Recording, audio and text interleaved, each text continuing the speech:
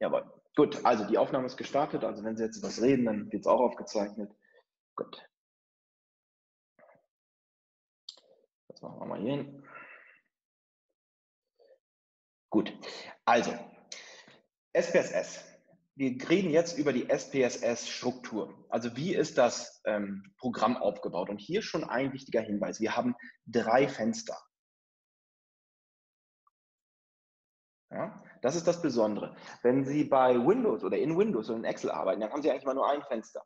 Ja, dieses Fenster, wo Sie dann, ähm, keine Ahnung, die Zellen sehen in, SPS, äh, in Excel oder eben Ihr Dokument schreiben in Word. In SPSS ist es anders. Dort haben Sie erstens das sogenannte Datenfenster, zweitens das sogenannte Ausgabefenster und Ausgabefenster oder Ergebnisfenster. Und drittens haben Sie das sogenannte Syntaxfenster. Das ist das Besondere. Ich zeige es einmal. Wenn wir uns jetzt hier ähm, SPSS ansehen und gestartet haben, dann befinden wir uns im Datenfenster. Das Datenfenster ist sozusagen die Zentrale von SPSS. In diesem Datenfenster, dort können wir jetzt, wie bei Excel auch, unsere Daten eintragen. Nur, und darauf wollte ich gerade ansprechen, wo SPSS jetzt besser ist, das ist, dass wir nicht nur Daten eintragen können, sondern auch Metadaten. Ja? Daten und Metadaten. Was das ist, zeige ich gleich. Abgebildet wird das hier durch die Datenansicht im Datenfenster und der Variablenansicht im Datenfenster. Heißt, das Datenfenster, das unterteilen wir auch nochmal in Daten- und Variablenansicht. Um das mal ganz plastisch zu machen. Wir schauen jetzt mal hier in dieses Datenfenster hinein. Hier sehen wir, dass das Ganze tabellarisch aufgebaut ist. Also tabellarisch bedeutet, wir haben Spalten, da kommt gleich was rein. Und wir haben Zeilen, da kommt gleich auch was rein. In die Spalten, da kommen eigentlich immer sogenannte Merkmale von Merkmalsträger, die wir beobachten. Das klingt alles jetzt sehr förmlich. Ich mache es mal an einem Beispiel klar. Wir haben den Merkmalsträger Fußballspielerin. Und dort an diesem Merkmalsträger oder Merkmalsträgerin, dort können wir jetzt verschiedene Merkmale beobachten. Und diese beobachteten Merkmale, die speichern wir in Spalten. Zum Beispiel können wir in die Spalte ähm, den Namen speichern. Wir können in die nächste Spalte das Alter speichern, in der dritten Spalte die ähm, Liga, in die oder in der, der die Spieler spielt. Ja? Zeilenweise kommen dann jetzt die einzelnen Merkmalsträger hinein, die wir tatsächlich beobachtet haben. Also in diesem Falle sind es Personen, Fußballspieler. So ist SPSS bzw. das Datenfenster aufgebaut, die Datenansicht aufgebaut. Um das jetzt nochmal klar zu machen, wechselt, wenn ihr gerade da seid oder mir zuguckt, ich wechsle jetzt in die Variablenansicht. In der Variablenansicht können wir jetzt eben definieren, was wir beim Merkmalsträger beobachten wollen. Merkmalsträger Fußballspieler. Wenn ihr jetzt zu Hause auch SPSS geöffnet habt, könnt ihr das gerne mitmachen. Das wäre nämlich jetzt das Schöne, wenn wir uns gegenüber säßen, dann ähm, könnte ich direkt, ähm, könntet ihr mir direkt eben folgen, weil ihr ähm, das vorne auf dem Beamer seht und dann am Computer das nachmachen könnt. Aber ich hoffe, es funktioniert. Also wir haben gesagt Fußballspieler, dort haben wir den Namen. Wir haben die Liga, das Alter. Und was können wir noch? Haarfarbe, Größe. Ja, also alles Merkmale, die wir bei einem Merkmalsträger beobachten können. Und wenn ich jetzt zurückgehe in die Datenansicht, dann seht ihr, dass eben spaltenweise diese Variablen übernommen worden sind. Und jetzt könnte ich für jeden Fußballspieler, für jede Fußballspielerin, die ich beobachte, die erste, der zweite, der dritte, die vierte und so weiter und so fort, diese Merkmale dort eintragen. Das geht übrigens auch für Krankenhäuser. Also ich bin, ich, bin im, im, Bereich der, der Krankenhausforschung tätig. Dort kann es auch sein, dass der Merkmalsträger ein Krankenhaus ist. Der Merkmalsträger kann ein Patient sein. Der Merkmalsträger können Organisationen sein. Der Merkmalsträger kann ein Kunde, eine Kundin sein, die einen Kredit aufnehmen möchte. Ja? Also da ist eigentlich ähm, alles möglich, was, was man beobachten kann.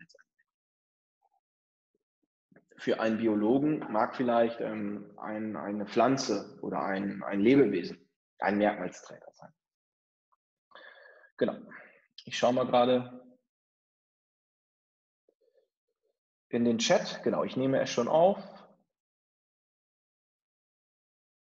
Genau, die Aufzeichnung läuft. Und ein Neustart, das ist auch okay. Gut. Excel.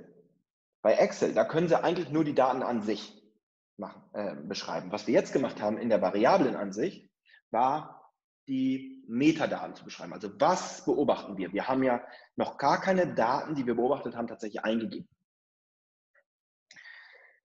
Das heißt, diese Variablenansicht, dort geben Sie die Metadaten ein. Was sind Metadaten? Metadaten sind Daten, die Daten beschreiben.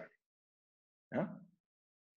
Also, Daten, die Daten beschreiben. Und bevor wir tatsächlich Daten in SPSS eingeben, jetzt noch einmal, ähm, wie wir Metadaten in SPSS definieren. Und das ist unfassbar wichtig, vor allen Dingen für diejenigen, die mit Lime Survey nachher Umfragen erstellen. In einer Umfrage haben Sie einen Teilnehmer, eine Teilnehmende, eine Teilnehmerin und dort möchten Sie auch gewisse Merkmale erfahren. Also wenn Sie irgendwas, ähm, eine, eine, Kundenanalyse machen und Sie möchten wissen, ja, ähm, wie war er zufrieden mit dem Kundenservice, dann ist das ein Merkmal.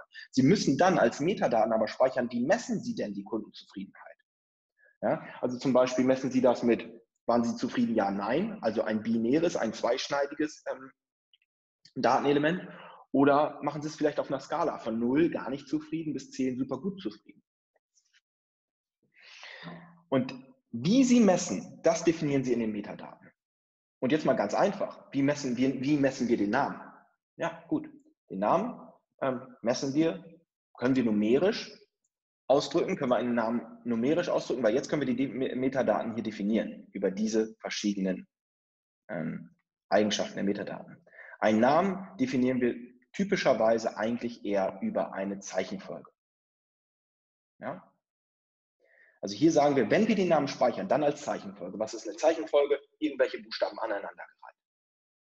Und hier sagen wir, mit wie viel Zeichen wir die, den Namen äh, speichern. Acht Zeichen wäre jetzt ähm, Standard. Ich empfehle euch, dass ihr hier genug Platz lasst. Ihr wisst ja nicht, wie lang so eine Zeichenkette wird, insbesondere wenn ihr Freitextfragen stellt. Also geht ihr hier auf OK. Und ähm, habt ihr hier gleichzeitig die Zeichenfolge definiert und die Breite. Ihr könnt jetzt den Namen in einer Zeichenfolge speichern und diese Zeichenfolge kann maximal 255 Zeichen beinhalten. Eine Zeichenfolge hat typischerweise keine Dezimalzahlen. Zu den Dezimalzahlen komme ich gleich. Und hier in der Beschriftung, dort schreibt ihr jetzt relativ ausführlich hin, was ihr eigentlich gemessen habt. Ja, der Name der Variable, das ist eher die Kurzbezeichnung. Die Beschriftung, dort könnt ihr jetzt in Prosa eigentlich reinschreiben, was ihr gemessen habt. Also zum Beispiel der Name des Fußballspielers. In diesem Falle nichts Besonderes. Wäre aber zum Beispiel besonders, wenn ihr zum Beispiel ähm, beschreiben wollt, ob ihr ähm, ja, auf einer, ähm, in, in Zehner-Schritten eine Messung gemacht habt, wie gerade bei der Kundenzufriedenheit von 0 bis 10, also von Elber-Schritte, oder ähm, von ähm, Dichotom, ja, Kunde zufrieden ist ja, Kunde ist zufrieden, nein. Ja? Ähm, kurze Zwischenfrage. Ja, gerne. Immer wenn ich etwas eingeben will, dann kommt bei mir immer maximale Anzahl der Variablen ist überschritten. Was haben Sie denn eingegeben? Ich wollte beim Namen jetzt halt äh, auch, wie Sie das gemacht haben, ja. das, das mal nachverfolgen. Ähm, ist natürlich ein bisschen, bisschen ähm, schwierig von hier, aber ähm, haben Sie hier auch sicher Zeichenfolge angeklickt und dann da? Ja, so weit komme ich gar nicht, weil immer wenn ich in ein Feld reinklicke, dann kommt maximale Anzahl an Variablen überschritten als Fehlermeldung. Hm.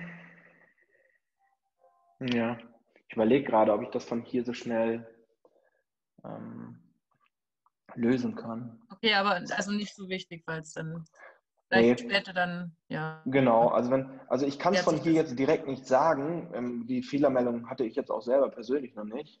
Okay. Ähm, ja. ja, dann warte ich einfach ab. Vielleicht klärt ja, es sich später. Ja, genau. Also wenn wir jetzt vor Ort wären, dann könnte ich an Ihren Computer kommen und mal nachgucken und dann ja, wahrscheinlich klar. lösen, aber das ist jetzt gerade ein bisschen schwierig. Naja, okay. okay. Ähm, versuchen Sie einfach dran zu bleiben, vielleicht löst es sich ja auch gleich. Okay. Ähm, wir haben den Namen, den Kurznamen unserer Variablen, also des Merkmals, das wir messen, definiert. Wir haben den Typ definiert, also wir haben gesagt, den Namen, den messen wir als Zeichenfolge. Und wir haben gesagt, okay, diese Zeichenfolge darf 255 ähm, Zeichen enthalten. Die Zumalstellen erübrigen sich und die Beschriftung, dort schreiben wir dann nochmal ausführlich rein, was wir beschrieben haben. Weil nämlich im Namen, da, können, da haben wir nur begrenzten Platz. Zum Beispiel im Namen könnten wir auch keine Leerzeichen benutzen. Namen des, wenn ich jetzt Namen des mit, dann wird er mir eine Fehlermeldung angeben. Der Name enthält ein ungültiges Zeichen. Ähm, deswegen, also halten Sie sich beim Namen kurz, kurz und knapp, dass Sie wissen, was gemessen wurde. In der Beschriftung ein bisschen ausführlicher. Warum ausführlicher? Also diese Dokumentation ist unheimlich wichtig, weil immer zwei Personen an so einem Datensatz arbeiten. Das sind Sie oder ihr äh, im Jetzt und Heute und ihr in zwei Wochen. Und glaub mir, ich habe schon viel mit SPSS gearbeitet. Manchmal weiß man wirklich nicht mehr, was man da gemessen hat. Und dann ist es gut, wenn der Datensatz gut dokumentiert ist und man eine Beschriftung hat, die einem weiterhilft. Und wenn ihr eine Abschlussarbeit schreibt, ähm, dann ist es auch immer gut, ähm, Screenshots oder in einem elektronischen Anhang unter Berücksichtigung des Datenschutzes euren SPSS-Datensatz anzuhängen, weil dieser SPSS-Datensatz, der weist nach, wenn ihr es denn getan habt, dass ihr gut gearbeitet habt, dass ihr sorgfältig gearbeitet habt. Und dann macht es sich immer prima, einen gut gepflegten SPSS-Datensatz vorzuweisen. Deswegen immer gut dokumentieren. Werte komme ich gleich drauf zurück. Aber was ähm, Werte wird nachher interessant beim numerischen Datenwert. Fehlend ist, ähm, ist ganz wichtig in Sozialwissenschaften. Also es kommt ganz, ganz selten vor, dass wir tatsächlich komplette Datensätze haben. Und dort müssen wir dann sagen, wie definieren wir denn einen fehlenden Datentyp?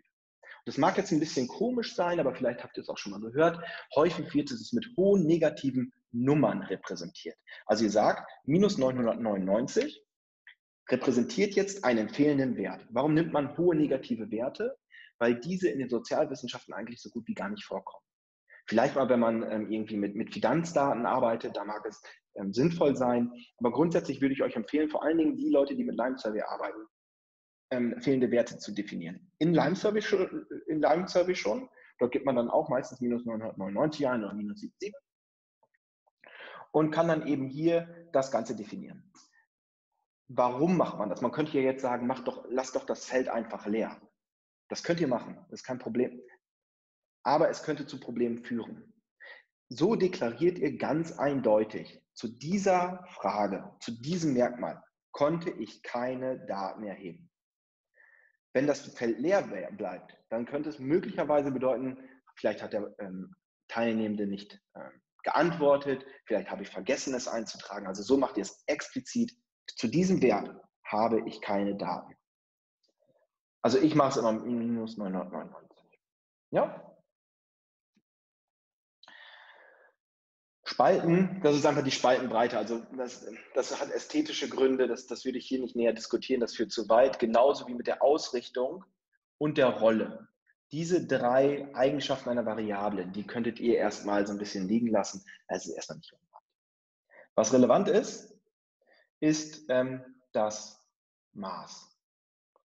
Und dabei geht es um, ups, jetzt habe ich hier schon Maß eingegeben, dabei geht es um das sogenannte Skalenniveau, das Sie vielleicht aus dem Statistikunterricht kennen. Also eine Variable hat ein Skalenniveau zugeordnet. Das Skalenniveau, das sagt Ihnen, was man tatsächlich mit dieser ja, mit dieser Variable rechnen kann.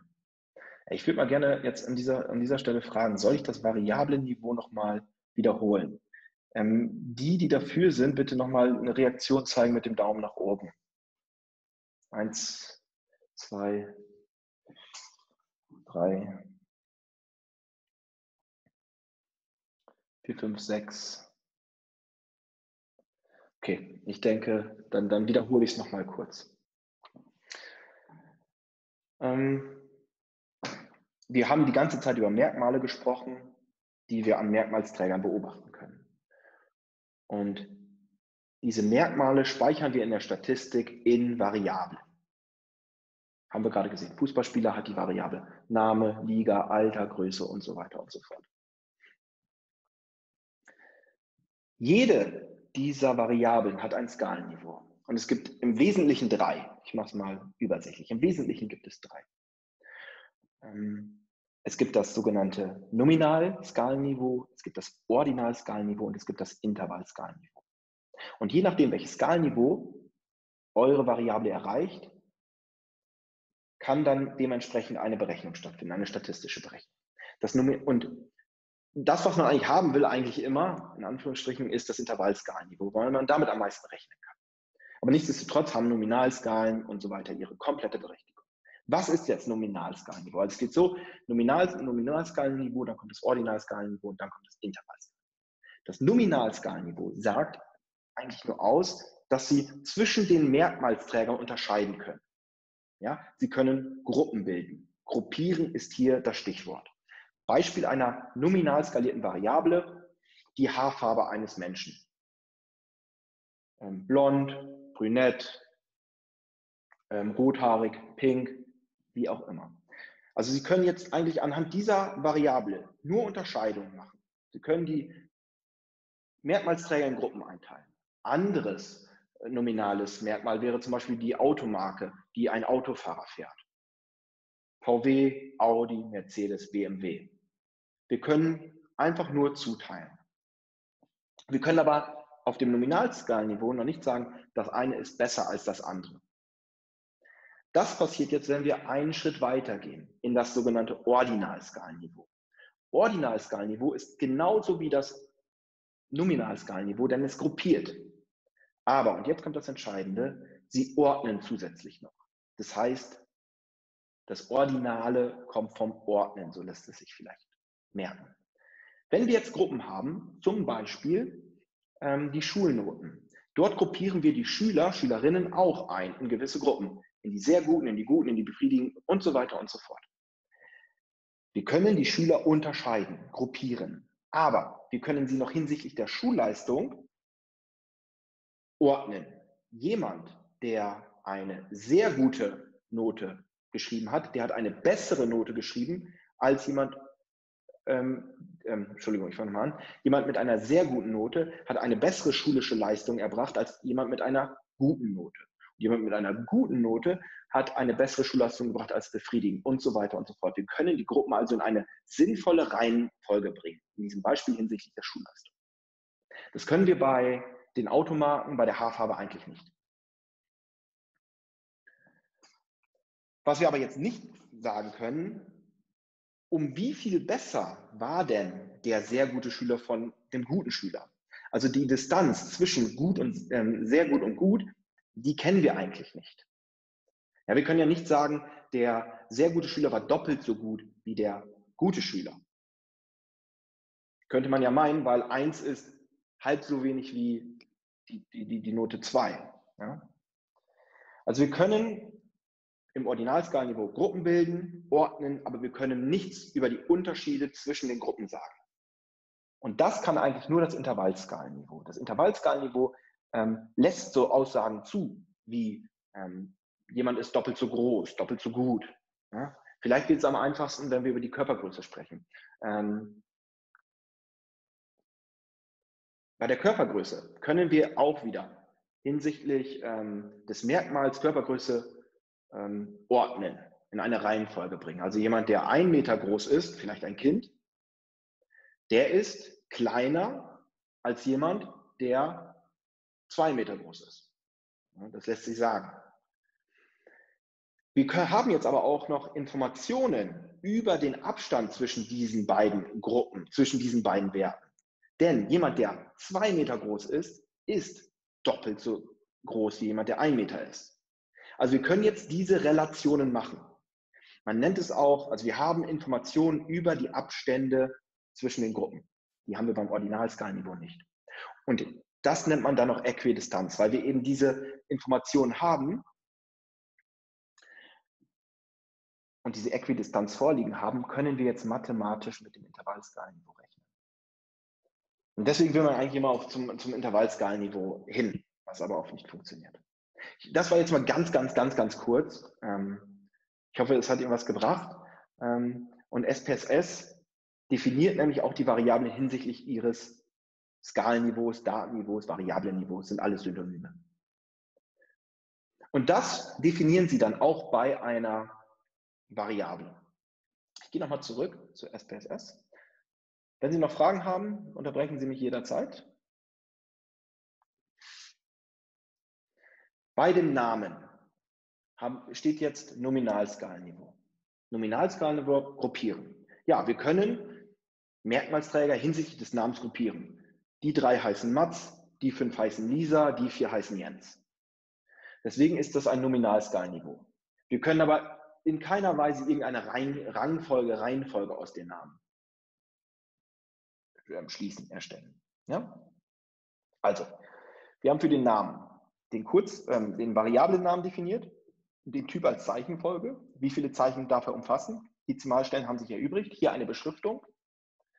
Werte war erstmal unerheblich. Fehlend haben wir auch definiert. Spalten, Ausrichtung, Rolle, unerheblich, aber Maß. Das war dann nochmal am Ende ganz interessant und wichtig. Ähm, SPSS schaut teilweise, welches Datenniveau Sie definiert haben und ähm, versucht daran, ähm, das richtige statistische Werkzeug herauszusuchen. Okay, mal ganz kurz weiter. Ähm, Liga. Ähm, könnten wir jetzt da, wir jetzt, da kommen wir jetzt in die Diskussion normalerweise, könnten wir jetzt überlegen, ja, ist das jetzt numerisch oder Zeichenfolge? Ja? Wir könnten jetzt hinschreiben, Bundesliga, zweite Bundesliga, dritte Liga, könnten wir ja als Zeichenfolge ausschreiben. Könnte man machen. Man könnte aber auch sagen, hm, ähm, warum nehmen wir nicht nur 1, 2, 3? Ja, erste Liga steht für 1, zweite Bundesliga steht für die 2 und die dritte Liga für die 3 und die vierte Liga und so weiter und so fort. Und hier ist SPSS auch wieder stark. Ich würde in solchen Dingen, wo wir so einen überschaubaren Satz an, an Gruppen bilden können, immer vorschlagen, ja, definiert es numerisch, also ihr habt einen numerischen Wert, dem ihr einem, einem, einer Ausprägung zuordnet. Ich mache es mal ganz deutlich. Wir lassen diesen Typ auf numerisch. Eins, zwei oder drei oder vier. Dezimalstellen brauchen wir erstmal nicht. Hier schreiben wir dann rein die Liga äh, die Liga, in der der Fußballspieler spielt. Ja, Fußballspieler. Habe ich jetzt mal abgekürzt. Und jetzt in diesen Fällen wird nämlich die Spalte Werte interessant.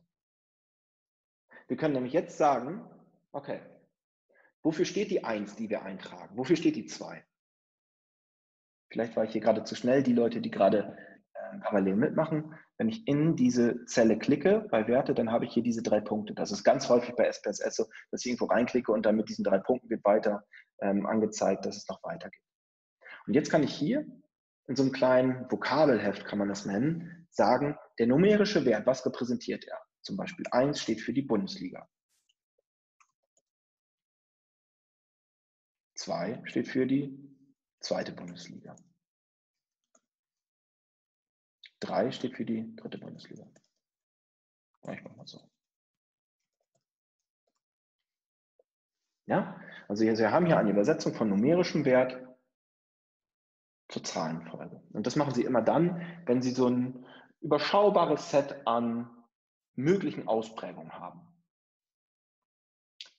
Ähm, überlege gerade, wo es noch vorkommt. Sie könnten zum Beispiel auf einer Viererskala fragen, wie zufrieden sind Sie? Eins, zwei, drei oder vier? Eins repräsentiert sehr zufrieden. Zwei repräsentiert zufrieden. Drei repräsentiert unzufrieden und vier repräsentiert sehr unzufrieden. Schulnoten, ähnliches Beispiel habe ich ja gerade schon gesagt. Die Eins, die Note Eins repräsentiert eigentlich ein sehr gutes Ergebnis. Die Note zwei ein gutes Ergebnis. Die Note drei ein befriedigendes Ergebnis und so weiter und so fort.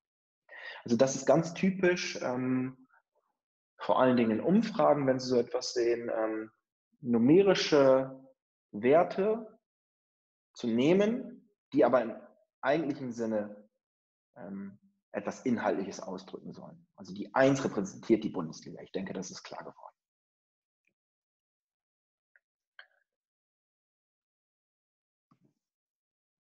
Eine Frage, die Sie vielleicht jetzt, und ich versuche das mal zu antizipieren, was für Fragen normalerweise kommen. Normalerweise kommt jetzt so eine Frage, was mache ich denn, wenn ich so eine, ich, vielleicht, vielleicht kennen Sie das mit Likert-Skala, ist in der Psychologie sehr beliebt. Ähm, in der Likert-Skala, da, da wird häufig nach Zufriedenheit oder nach, ähm, Servicequalität oder so etwas gefragt. Und man soll von 1 bis 7 beurteilen. 1 komplett unzufrieden, 7 komplett zufrieden. Ähm, in dem Fall würde ich einfach sagen, ähm, was der Endpunkt 1 repräsentiert und der Endpunkt 7 repräsentiert. Ich würde jetzt aber nicht anfangen zu sagen, 1 steht für ähm, sehr, sehr zufrieden, 2 steht für sehr zufrieden, 3. Also ich würde sagen, wenn Sie mehr als fünf Kategorien, sechs Kategorien haben, dann fangen Sie nicht an, das Ganze nochmal hier zu definieren. Als Daumenregel. Und theoretisch könnte ich hier auch nochmal weitermachen. Es könnte ja auch sein, dass ein Spieler, eine Spielerin in der Regionalliga spielt. Ja? Okay. Äh, was habe ich jetzt hier?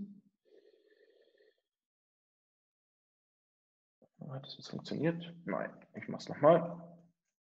Regionalliga. Ja, klicke ich auf Hinzufügen und klicke dann auf OK. Auch wieder fehlen minus 999. Also ich würde euch empfehlen, da tatsächlich einheitlich fehlende Werte zu definieren. Fragt euch jetzt mal jeder selber, ähm, was für ein Datenniveau hat es? Also die Liga.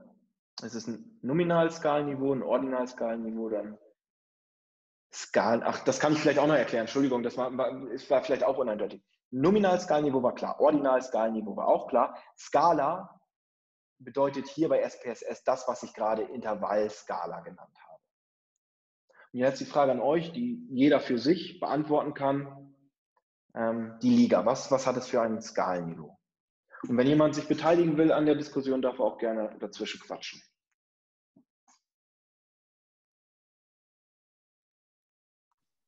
Ordinal.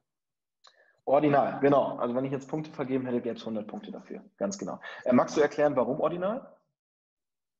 Hm, ja, weil ich ja schon orten kann, quasi wie die Ligen. Also es gibt ja eine Reihenfolge jetzt vom Inhaltlichen her äh, der mhm. Ligen. Aber ähm, auf der anderen Seite kann man ja jetzt keine Abstände dazwischen ähm, ja. festlegen. Genau. Und ähm, gruppieren kannst du auch. Das war das Kleine, was noch gefehlt hat. Genau, wir gruppieren die Spieler hinsichtlich der Liga. Ähm, wir können die Liga auch hinsichtlich der Spielstärke ordnen, sortieren. Wir können aber keine inhaltlichen Angaben machen über die Abstände zwischen den Ligen. Wir können nicht sagen, dass eine Mannschaft, die in der ersten Liga spielt, doppelt so stark ist wie in der zweiten. Ja? Also wir haben kaum Informationen, wenig Informationen bis gar keine Informationen, wie der Abstand zwischen den Linien ist. Genau, Ordinalskalenniveau. Deswegen gebe ich das hier auch so ein. Genau. Ähm, Alter, gehen wir ganz schnell durch. Alter ist zum Beispiel auch immer ähm, ganz interessant, ähm, vor allen Dingen, wenn ihr mit Teilnehmenden zu tun habt ähm, in, in, Umfragen, da ist das Alter immer sehr interessant. Ähm, ich gehe das mal ganz schnell durch. Ist ein numerischer Datentyp. Ähm, es macht keinen Sinn, ein Jahr zu schreiben, zwei Jahre zu schreiben, wäre ja möglich, macht aber keinen Sinn, weil ihr mit dem Alter rechnen wollt. die Breite könnt ihr so lassen. Also es bedeutet jetzt, dass, dass ihr acht Stellen zur Verfügung habt für eine Zahl. Das wären dann 999, also 99 ähm, Millionen. So alt kann niemand sein. Also wenn ihr jetzt ähm, überall in diese acht Stellen neun eintragt, dann kommt ihr bei 99.999.999 raus. Was ich damit sagen will, lasst es einfach auf acht, damit habt ihr immer genug Platz beim numerischen Datentyp. Dezimalstellen, wenn ihr das Alter in ähm, Jahren misst, dann braucht ihr hier keine Dezimalstellen. Dann schreibt ihr hier, und das ist ganz besonders wichtig, nochmal rein, das Alter des Spielers oder das Alter in Jahren. Das könnte zum Beispiel auch interessant sein. Wichtig ist, dass ihr hier in Jahren hinschreibt. Für dieses Beispiel mag es möglicherweise hinfällig sein, aber es kann ja interessant sein, wenn ihr auf der Pädiatrie, ihr seid Physiotherapeut oder Gesundheitspfleger und auf der Pädiatrie ähm, dort ähm, betrachtet ihr jetzt Kinder. Und da ist das Alter in Jahren vielleicht noch zu grob, deswegen messt ihr da das Alter in Monaten. Dann müsstet ihr es, ihr es hier eben auch eintragen, damit ihr es ganz genau dokumentiert habt. Wie habt ihr das Alter erhoben? Werte würde, äh, würde ich hier nicht eintragen. Natürlich könntet ihr hier eintragen, 1 steht für ein Jahr, 2 steht für zwei Jahre oder zwei Jahre und so weiter und so fort. Ihr bekommt äh, richtig, äh, ähm, ihr wisst, was ich meine. Zwei Jahre und so weiter und so fort. Ähm, das macht keinen Sinn. Auch da, da haben wir wieder zu viele Kategorien, deswegen lassen wir es einfach und lassen die Zahl für sich selber sprechen. Fehlend auch hier wieder, es kann niemand ähm, minus 999 Jahre sein. aber dieser Wert, wenn er denn vorkommt, repräsentiert uns. Es ist ein fehlender Wert. Zu diesem Teilnehmer, Teilnehmerin haben wir keine Werte. Und ihr müsst dann auch keine Angst haben, dass wenn ihr zum Beispiel Mittelwert bilden wollt, dass dann dieser, dieser Datentyp da mit, mit reinfließt. Also diese Daten werden von der Analyse von SPSS ausgeschlossen. Gut. Ähm, und das Ganze, und da gebe ich mal jetzt eben hier vor, ist Intervall skaliert oder hier mit Skala bezeichnet.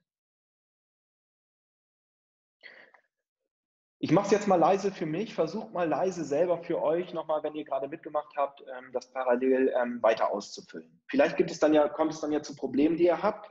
Ich, ich warte jetzt nochmal eine Minute, dann fange ich an. Ähm, versucht mal parallel das Ganze auszufüllen. Vielleicht lauft ihr in Probleme und habt dann Fragen, dann stellt sie gerne. Ja? Und wenn, wenn jemand jetzt eine Frage hat, auch gerne an mich.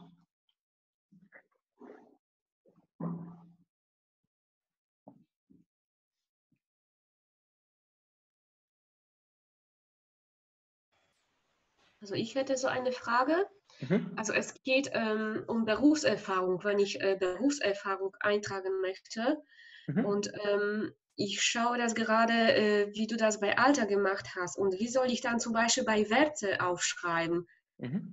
Eins für fünf Jahre, weiß ich mhm. nicht. Also da, da können unterschiedliche, unterschiedliche Zahlen kommen. Zum Beispiel einer arbeitet, hat Berufserfahrung schon zehn Jahre, hm? Jemand hat Berufserfahrung acht Jahre, jemand anderes 15 Jahre. Wie soll ich das bei Werte eintragen? Mhm. Okay. ja, gute Frage. Frage. Ähm, ich frage dich jetzt mal, ähm, wie würdest du, wie würdest du denn, wie würdest du eine Person fragen, um das, ähm, um die Berufserfahrung zu ermitteln? Wie würdest du die Person fragen? Also was würdest du, um, um an die Information zu kommen? Also zum Beispiel, äh, wie lange, äh, also wie lange bist du schon im Beruf, also wie lange bist du äh, berufstätig? Okay, gut. Und ähm, dann ist auch ganz wichtig, dass du noch fragst, in welcher Einheit du das gerne hättest, in Jahren oder vielleicht auch in Monaten? Ja, genau, in Jahren. In Jahren, okay.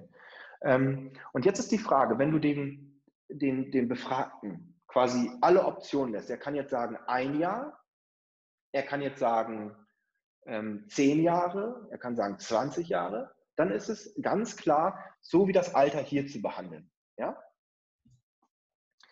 Ähm, wenn du aber die Möglichkeit zum Beispiel in einem Fragebogen gibst, und das ist auch möglich, du fragst dann, wie viel Berufserfahrung haben sie? 0 bis 5 Jahre, 6 bis 10 Jahre oder mehr als 10 Jahre. Merkst du, da kriegst du drei Kategorien. Mhm. In diesem Falle würdest du das kategorisch ähm, machen. Ich zeige es mal eben. Ähm, ich nenne es mal hier Berufserfahrung, wie lange der oder die Spielerin schon Fußball spielt. Berufserfahrung. So, jetzt kann ich es einmal, jetzt kann ich es numerisch machen. Ich kann aber hier auch dann eintragen in drei Kategorien. Null in drei Kategorien. Und dann kann ich hier in die Werte schreiben. Okay, der erste 0 bis 5 Jahre hinzufügen. Zwei, sechs bis zehn Jahre. Drei, über zehn Jahre.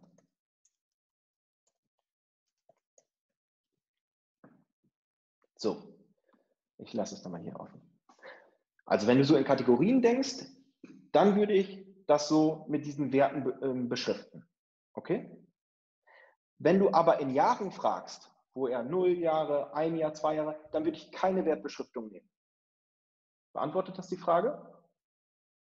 Ja, und wie soll ich das einfach so angeben? Wie soll ich das bewerten? Ja, ja. Mhm. Also, also wenn, wenn, ich dann einfach so, so die Frage gestellt habe, so wie ich es gerade gesagt habe, dass einer, jeder schreibt mir ja unterschiedliche Werte. Wie mhm. soll ich dann das bearbeiten? Dann lässt du diese Werte komplett, dann, dann beschreibst du hier keine Werte, dann lässt du die Zahl für sich selber sprechen. Soll ich das einfach so nur äh, schriftlich beschreiben? Oder? Ja, einfach nur hier einmal Berufserfahrung in Jahren zum Beispiel. Und dann brauchst du hier bei den Werten nichts angeben. Ich glaube, es wird gleich klar, wenn wir, wenn wir, wenn wir das ähm, nochmal, wenn wir die Daten tatsächlich eingeben. Ja? Ich hätte dazu noch eine Anschlussfrage. Ja, gerne.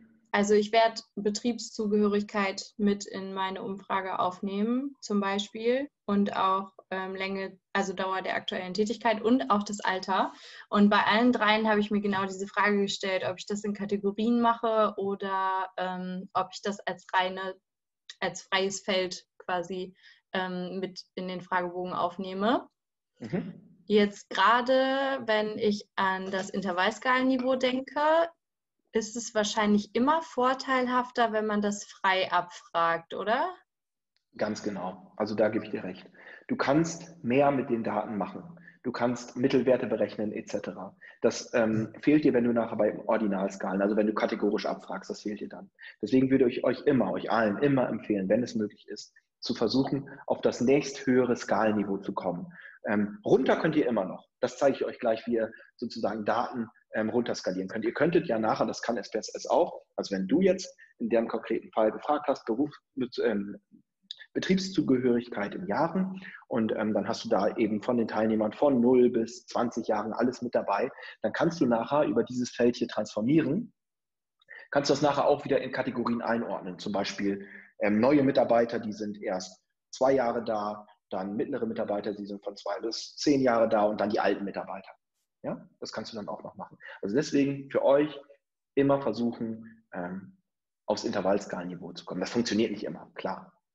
manchmal ist es auch eben besser, ähm, ähm, direkt in, in, Kategorien abzufragen. Ja. So. Okay, Dankeschön. Ja, gerne. Okay. Ich mache es mal ganz schnell eben hier zu Ende, damit das auch geklärt wird. Also beim Alter, äh, jetzt müssen wir gucken, hier die Fenster zur Seite, Haarfarbe. Ähm, würde ich jetzt typischerweise ähm, als Zeichenfolge nehmen. Ähm, man kann da, aber was ist hier jetzt was?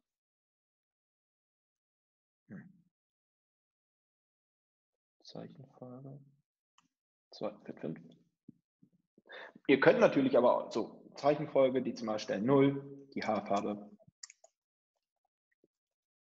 des Spielers oder der Spielerin. Ähm, dann würdet ihr hier keine Werte eintragen, fehlend. Immer wenn, wenn ihr nicht wisst, hm, welche Haarfarbe der oder diejenige hat, 9 minus 999. Und das Ganze wäre dann auch Nominalskalenniveau, habe ich ja gerade schon mal gesagt.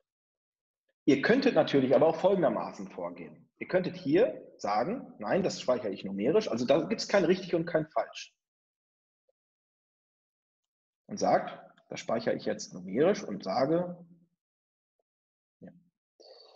und sage bei der Wertbeschriftung wieder, 1 steht für blond, 2 steht für dunkel, 3 steht für andere. Ja? Also diese beiden Möglichkeiten habt ihr, je nachdem, wie ihr auch fragt. Wenn ihr so etwas macht, wie ich jetzt hier gerade gemacht habe, blond, dunkel, andere, also dann solltet ihr immer so vorgehen, dass alle Möglichkeiten abgebildet werden. Ja, also ohne andere macht es keinen Sinn, weil man ja auch eine andere Haarfarbe haben kann oder gar keine Haare. Ja. Okay. Was ich damit einfach nur ausdrücken wollt, äh, wollte, da gibt es manchmal auch kein richtig und kein falsch. So. Ja, einige Wertbeschriftungen werden ver verworfen. Gut. Also das, was ich da gerade eingetragen habe, wird verworfen. Und die Größe, das ist auch wieder so ein schönes Beispiel. Jetzt haben wir die erste, ähm, ähm die erste variable Größe ähm, vom numerischen Typ. Also ich will die Größe zum Beispiel in Zentimetern messen, dann sollte ich das hier auch hinschreiben. Die Körpergröße in Zentimeter oder ihr könnt sie auch in Meter messen. Wir messen mal in Meter, weil dann haben wir gleich noch eine andere Sache. Dann können wir nämlich hier nämlich auch nochmal bestimmen, auf wie viele Dezimalstellen genau wollen wir denn messen. Also wenn jemand 1,86 ist, dann 1,86, zwei Dezimalstellen. Gängig. Also die wenigsten werden ja.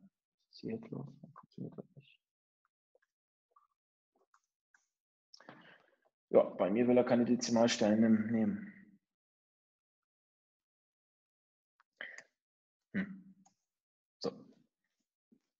Also jetzt würden wir sagen, okay, die Körpergröße, die würden wir in Meter messen und immer mit zwei äh, Nachkommastellen. 1,85 Meter, 1,80 Meter, 1,70 Meter, 1,71 Meter und so weiter und so fort. Werte würden wir hier wieder nicht definieren. Also immer wenn wir keine Werte definieren, steht die Zahl, so wie wir sie eintragen, für sich. Vielen sollten wir dennoch eintragen. So, minus. Gut. Das ist jetzt aber auch mittlerweile ein alter Hut. Die Berufserfahrung, die lösche ich mal wieder raus. Hier, ich zeige euch mal eben, ich gehe hier auf die ähm, Seite der Zeile mit der rechten Maustaste und sage hier einfach mal Variablen löschen. Okay. Damit haben wir jetzt eigentlich ähm, die Metadaten, also die Daten, die unsere Daten beschreiben, ähm, festge festgelegt. Ja? Und das können hier nicht nur fünf Variablen sein, das können auch mal 100 Variablen sein. Und letztendlich, wenn ihr mit Line Survey arbeitet, auch da Daumenregeln, es gibt Ausnahmen, ist eigentlich jede Frage, die ihr stellt, ist eine Variable. Und für die Leute, die mit Line Survey arbeiten, da auch nochmal der Hinweis, ähm, hier könnt ihr am besten immer die Frage reinkopieren. Also die tatsächliche Frage, die ihr gestellt habt. Und teilweise macht Lime Survey das auch automatisch. Okay. Also, wo waren wir? Im Datenfenster in der Variablenansicht und haben dort die Metadaten definiert. Gehen wir jetzt in die Datenansicht und geben mal Daten ein. In die Datenansicht wechseln. Und hier können wir jetzt unsere Daten einfach eingeben. Zum Beispiel geht ihr jetzt einfach mal zum BVB-Training und fragt, wie ist Ihr Name? Mats Hummels. In welcher Liga spielen Sie? Liga 1. Wie alt sind Sie? Äh, 31, glaube ich. Haarfarbe dunkel. Größe 1,90. Jetzt müssen wir nur hier aufpassen, jetzt haben wir hier 1,90. Wir haben ja in Meter gemessen, also muss ich eigentlich 1,90 schreiben also 1,90. Fragen wir den nächsten Spieler, Marco Reus. Der spielt auch in der Bundesliga. Der ist mittlerweile, glaube ich, auch 31. Der hat helle Haare und ist vielleicht ein bisschen kleiner. Ich weiß nicht, wie groß er ist. 1,80 sage ich jetzt mal. Und so würdet ihr quasi Spieler für Spieler, Datum für Datum eintragen. Das ist für diejenigen relevant, also habe ich auch schon Bachelorarbeiten, Masterarbeiten betreut, die mit einem Klemmbrett ähm, in die Fußgängerzone gehen, dort dann ähm, eben ähm, Umfragen machen, auch papierbasiert und dann nachher nach Hause kommen und das Ganze in SPSS eintragen. Ähm, ich selber habe das in meiner Masterarbeit auch gemacht, ähm, nee, in meiner Bachelorarbeit. Ich bin Physiotherapeut und ich habe damals ähm, in der Praxis Patienten behandelt und hatte neben mir so einen Papierbogen und habe dann nachher abends die Daten, die ich erhoben habe, in so eine Tabelle eingetragen. Die Leute, die mit Line Survey arbeiten, brauchen das nicht. Die Leute, die vielleicht auch schon einen Datensatz haben, die sie von ihrem Prof, von ihrer Professorin bekommen, die haben Daten. Also das ist eine Möglichkeit des Datenimports. Gibt es dazu Fragen zu der Dateneingabe? Ich habe kurz eine Frage. Ähm, ja, bei mir steht bei Liga jetzt jeweils eine 1 und nicht Bundesliga. Okay, gut. Ähm, da gibt es dieses schöne Knöpfchen, ähm, das ist dieses hier. Ah, okay. Ähm, diese Verzweigung. Wenn du da drauf drückst, dann sollte es sich ändern. Okay, super, danke. Ja, und ähm, das ist auch manchmal ganz nützlich, wenn ihr wirklich die Daten per Hand eintragt ähm, und ihr dann nicht mehr ganz genau weißt, also bei erster Liga, zweiter Liga und dritter Liga, da war das dann irgendwie klar, aber manchmal hat man auch so ähm, numerische Ausdrücke für inhaltliche Dinge, wo man nicht mehr ganz genau weiß. Also wenn ihr dann tatsächlich eintragen müsst, dann würde ich euch empfehlen, diesen Knopf zu drücken und dann kriegt ihr hier so ein Dropdown-Menü.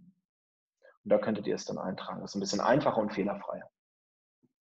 Genau. Weitere Fragen?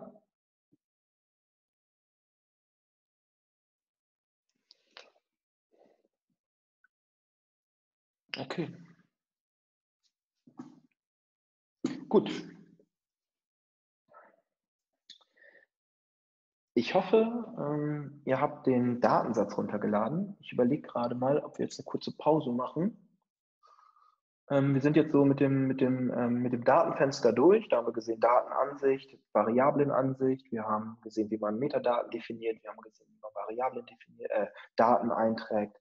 Ich würde jetzt einfach mal ähm, bis 20, nicht bis 20 nach, bis 25, bis 5 vor halb machen wir eine Pause. Ähm, und dann ähm, machen wir weiter und schauen uns mal an, ähm, wie man mit Daten tatsächlich rechnen kann. Wenn Sie es noch nicht getan haben, laden Sie sich bitte einmal die Daten herunter, damit Sie gleich äh, mitmachen können. Ja? Alles klar, bis gleich. Ähm, fünf vor geht's weiter, pünktlich.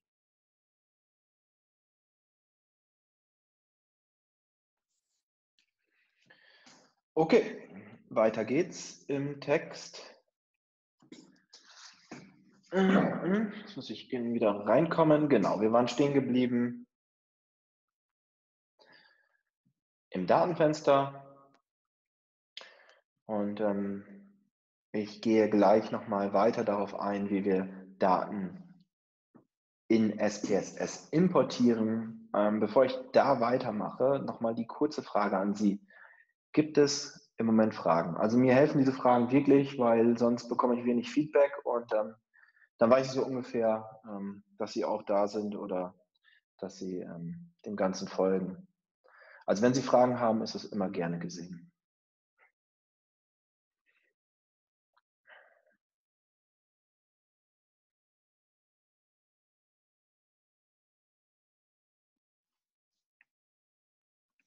Okay, gut. Dann fahren wir fort. Und zwar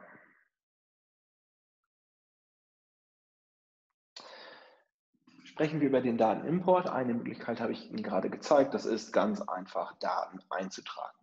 Ja, das kommt immer wieder vor, ist keine Seltenheit für die Personen, die mit Line-Server arbeiten. Ähm, ist es dann doch eher untypisch, weil vor allen Dingen die Daten eben sowieso elektronisch erhoben werden, nämlich mit den Umfragetools. Das, ähm, ich spreche immer von Lime Survey. Lime Survey ist das ähm, Umfragetool, was hier von der Hochschule offiziell betreut wird und angeboten wird. Natürlich gibt es auch äh, ganz andere ähm, Umfragetools. Also da gibt es so etwas wie SurveyMonkey, Google Forms. Ähm, also das sind eben Anbieter, Programme, die ihr auch komplett nutzen könnt. Ähm, das Schöne an LimeServer ist, dass die Daten hier tatsächlich an der Hochschule gehostet werden, nicht irgendwo im Ausland. Das macht es dann ähm, datenschutzkonform. Okay. Ähm, ich schließe diesen Datensatz jetzt, also nicht überrascht sein. Und gehe weiter ähm, zu einer Sache, nämlich dem Datenimport von Lime Survey. Der dürfte für einige von Ihnen interessant sein. Ich gehe jetzt mal direkt in eine Umfrage von mir. Ich muss hier in die Fenster zur Seite schieben. Ähm, eine Umfrage von mir, eine frühere Umfrage von mir, die damals lief die aber immer noch hier on, online ist. Und ich zeige euch jetzt, wie ihr Daten von Lime Survey in SPSS importiert. Das hier ist jetzt eure Maske, die ihr seht, wenn ihr in Lime Survey seid. Also das ist die erste Maske, die ihr seht ähm, von eurer Umfrage. Hier habt ihr verschiedene Möglichkeiten, ähm, die Umfrage irgendwie zu beeinflussen.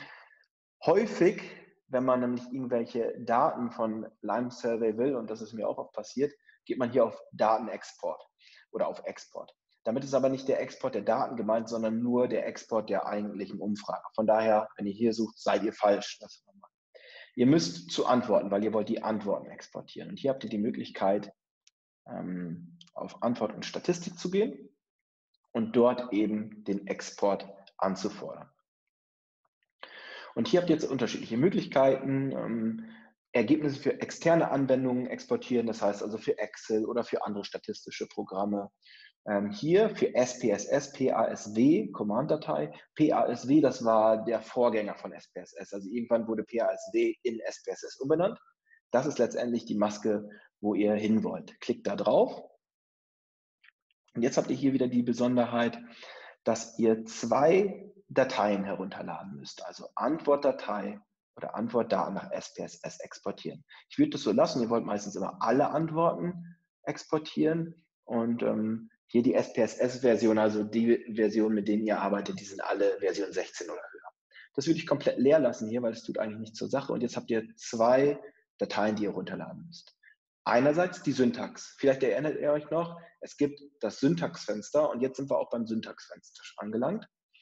Ähm, Syntax, das ist die Programmiersprache von SPSS. Also dort wird in Computercode geschrieben, welche Berechnungen ihr machen müsst. Ihr müsst aber diese Sprache nicht lernen. Also ihr kommt am besten in SPSS klar, wenn ihr euch mit der Maus navigiert und bewegt. Diese Datei habe ich jetzt runtergeladen und jetzt exportiere ich noch einmal die Daten. Ich gucke in meinen Download-Ordner. Und in diesem Download-Ordner befinden sich, ja, das habe ich gerade schon vorbereitet, befinden sich jetzt eben diese beiden Dateien. survey-blablabla.dat und survey-blablabla.sps. Die SPS, das ist die Syntaxdatei, die, euch, äh, die ihr gleich öffnet und die DAT, die enthält eigentlich eure Daten. Die Syntaxdatei sagt SPSS, wie ihr eure Daten noch einladet. Die Syntaxdatei könnt ihr mit einem einfachen Doppelklick öffnen und jetzt öffnet sich SPSS und es öffnet sich nicht nur das Datenfenster, sondern gleichzeitig auch das Syntaxfenster. Dem Syntaxfenster, von dem ich gerade geredet habe. Das Syntaxfenster ist ja neben dem Datenfenster und dem Ausgabefenster ein Fenster von SPSS. Das Ganze dauert jetzt ein bisschen. Und was ihr gleich sehen werdet, ist so ein Computerskript mit Computerkommandos, das dann SPSS erzählt, hey, pass mal auf, welche Datei soll ich denn laden, wo finde ich denn die Daten und wie sollen diese Daten strukturiert sein. Das ist das Datenfenster, das ist jetzt leer, das interessiert uns in diesem Moment nicht. Wir gehen in das Syntaxfenster hinein und hier seht ihr den Code, den ich gerade angesprochen habe. So, und jetzt müsst ihr eine Sache beachten. Ihr müsst diese achte Zeile, die müsst ihr anpassen. Diese achte Zeile, in der müsst ihr schreiben, wo befindet sich denn eure DAT-Datei. Also wenn ihr auf einem Windows-Rechner seid, schreibt ihr hier C Doppelpunkt Slash, na, bei mir hakt es gerade, weiß ich nicht, im Ordner Downloads befindet sich diese Datei. Auf dem Mac kann ich kurz nachgucken, befindet sich diese Datei auch in meinem Download-Ordner. Da gehe ich mit rechter Maustaste auf Informationen und mit rechter Maustaste hier auf den Dateipfad. Den kann ich kopieren. Den kann ich dann letztendlich hier vor dem Dateinamen einfügen. Ich weiß gerade nicht, was mein Computer hat, der ist ein bisschen langsam.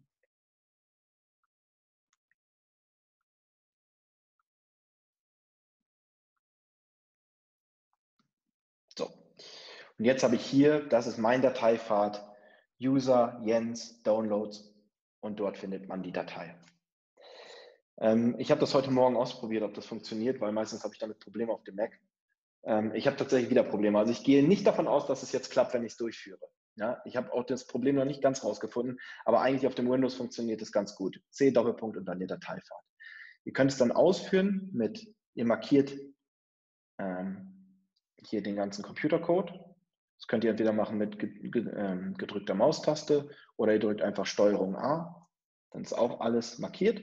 Also ihr sagt jetzt bitte, führe diesen Computercode aus. Ja, das ist ganz schön lang. Das ist eine lange Umfrage. Ach, deswegen, ja. So, und dann drückt ihr, damit ihr den Code ausführt, auf diesen grünen Knopf Auswahl ausführen. Wie gesagt, ich glaube, das schlägt jetzt fehl. Den Fehler konnte ich noch nicht ganz ausmachen. Wenn es da bei euch Probleme gibt, und ich habe viele Studierende betreut, die dort Probleme hatten, die Daten nach SPSS zu bekommen, ähm, dann meldet euch bei der Methodenberatung. Aber normalerweise, wenn ihr es so machen würdet, würde es funktionieren. Ich nehme an, beim Update meiner SPSS-Datei ist mir was schiefgelaufen. So funktioniert es. Ja? Ist jetzt nicht das ganz beste Beispiel, weil es hier eben zu kleinen Fehlern kam. Aber normalerweise öffnet sich dann das Datenfenster und ihr habt die Daten aus Lime Survey importiert. Das Ganze steht auch auf der Lime Survey Homepage. Hier unten Anleitung für Ungeduldige.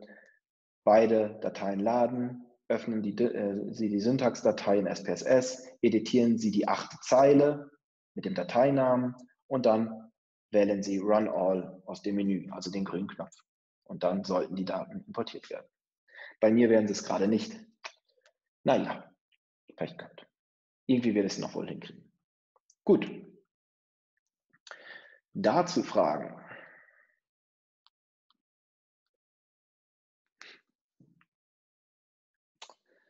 Gut. Jetzt eine dritte Methode, Daten nach SPSS zu laden. Ich bin hier wieder im Datenfenster. Und ich habe jetzt irgendwo eine Datei liegen, Marketing Data. Und ja, könnte ich jetzt einfach auf Datei öffnen gehen und das kennt ihr auch von Word, Daten. Ich habe jetzt verschiedene Möglichkeiten. Ich kann direkt SPSS-Daten öffnen. Ich kann aber auch hier Excel-Dateien öffnen. Und da kann ich in den Download-Ordner gehen. Ups, das ist die Dropbox. Hm. Okay, mir wird hier gerade kein Ordner angezeigt. Also normalerweise müsste mir da jetzt eigentlich die Datei angezeigt werden. Warum auch immer wird sie nicht. Dann mache ich es nochmal anders. Ich kann hier einfach die Datei öffnen, die Excel-Datei mit den Rohdaten. Das funktioniert auch. Kann ich dann eben hier die Daten, die ich hier habe, die wieder in tabellarischer Weise gespeichert sind, in den Spalten die Variablen, die Merkmale repräsentieren und in den Zahlen jeweils irgendwelche Merkmalsträger, die ich beobachtet habe. Das kann ich mit rechter Maustaste kopieren und eben in SPSS im Datenfenster einfügen. Also ihr seht, da führen viele Wege nach Rom. Der Nachteil, den ihr jetzt habt, die Daten sind noch nicht definiert. Also ihr müsstet jetzt hier noch hingehen und sagen, okay, wie sind denn meine Daten überhaupt ähm, beschrieben? geht ihr zurück in die Variablenansicht und schreibt hier, erste Variable ist dann zum Beispiel die ID, das nehme ich hier gerade mal aus der Excel-Tabelle, ID. Das ist die Phone Number und so weiter und so fort. Ja? Also da seht ihr auch den Unterschied zwischen Excel und SPSS. Excel speichert wunderbar die Rohdaten. SPSS auch, aber SPSS geht noch einen Schritt weiter als Excel. SPSS beschreibt eben auch die Daten, indem sie in der Variablenansicht ähm, die Metadaten beinhaltet. Also fasse ich nochmal zusammen. Wir haben im Wesentlichen drei Wege, Daten nach ähm, SPSS zu importieren. Wir tragen sie so ein. Wir importieren sie von Lime Survey oder wir holen sie uns von Excel. Aber es gibt auch weitere Datenformate. Wer es vielleicht kennt, CSV-Dateien ähm, sind häufig ein Datenformat das sehr beliebt ist, kann SPSS ebenfalls lesen. Genau. Ich lösche das alles mal. Okay. Ich hätte noch so, mal eine Frage dazu. Ja, gerne. Und zwar, wenn ich das hin, also ich habe einen Windows-PC, deshalb bin ich guter Dinge, dass das dann mit Lime Survey so klappt, wie Sie das gerade gezeigt haben. Ich denke auch, ja. Ähm, ich habe nur leider noch keine Antworten, dass ich das jetzt noch nicht versuchen konnte. Aber wenn das dann so funktioniert, in welcher Form stehen denn die Variablen dann da? Ist das so, wie wenn ich das aus einer Excel kopiere, auch nur die Rohdaten oder? Ja, okay, ähm, habe ich wahrscheinlich nicht, nicht deutlich gemacht. Nein, dann, das ist das Schöne. In dieser, in dieser Datei, in dieser Syntax-Datei, die Sie von Lime Survey bekommen, steht beschrieben, wie alle Metadaten auch übernommen werden. Also wenn du in Lime Survey deine Umfrage erstellt hast, hast du ja auch gesagt, okay, die 1 steht für erste Bundesliga, die 2 für die zweite Bundesliga oder ähnlich. Und diese mhm. ganzen Daten, die werden dann auch übernommen. Und du musst quasi nichts mehr editieren. Quasi. Ich würde trotzdem nochmal rübergehen und schauen, ob das alles korrekt übernommen wurde. Ähm, aber im Grunde hast du dann dir diese komplette Arbeit erspart. Ach, cool. Aber auch dafür alle, die mit Lime Survey arbeiten und die Daten importieren, was wichtig ist, kontrollieren Sie, ob SPSS das Maß richtig übernommen hat. Das heißt, ähm, das Skalenniveau. Überprüft bei jeder Variable, ist es tatsächlich das, was Lime Server da angibt. Weil da ist meiner Meinung nach ähm, ähm, doch eine kleine Fehleranfälligkeit zu erwarten. Ja? Mhm, okay. Ähm, ich weiß auch gerade nicht. Also ich glaube, es liegt irgendwie an meinem PC, weil ich habe ja gerade auch die Excel-Datei nicht gesehen. Das ist auch super merkwürdig. Ähm, ja, ich habe gestern Abend noch meinen Laptop äh, geupdatet. Es kann sein, dass es daran liegt. Naja, wer weiß es. Ähm, weitere Fragen vielleicht?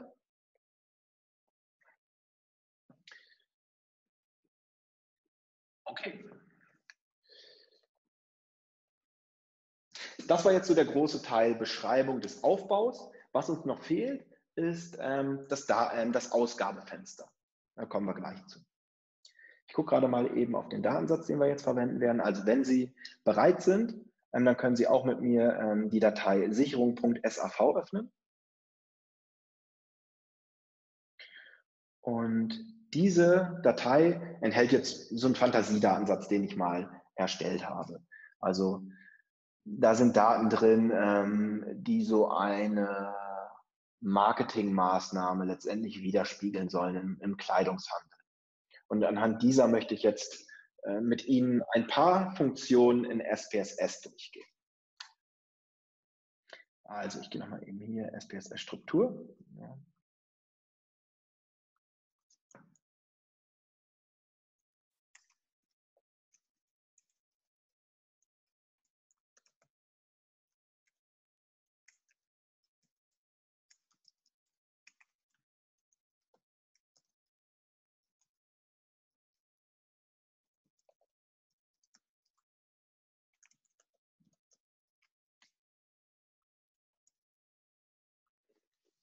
Genau. Also eigentlich kommen Sie nicht mit der Syntax in Berührung, wenn Sie, wenn Sie nicht mit Lime Survey arbeiten. Und auf die Syntax würde ich hier an dieser Stelle auch nicht näher eingehen. Also, ähm, die Sicherung nochmal öffnen. Wir gehen jetzt ähm, vom Programm in ähm, die Datenvorbereitung. Also was kann man mit Daten machen, ähm, bevor man sie tatsächlich richtig auswertet.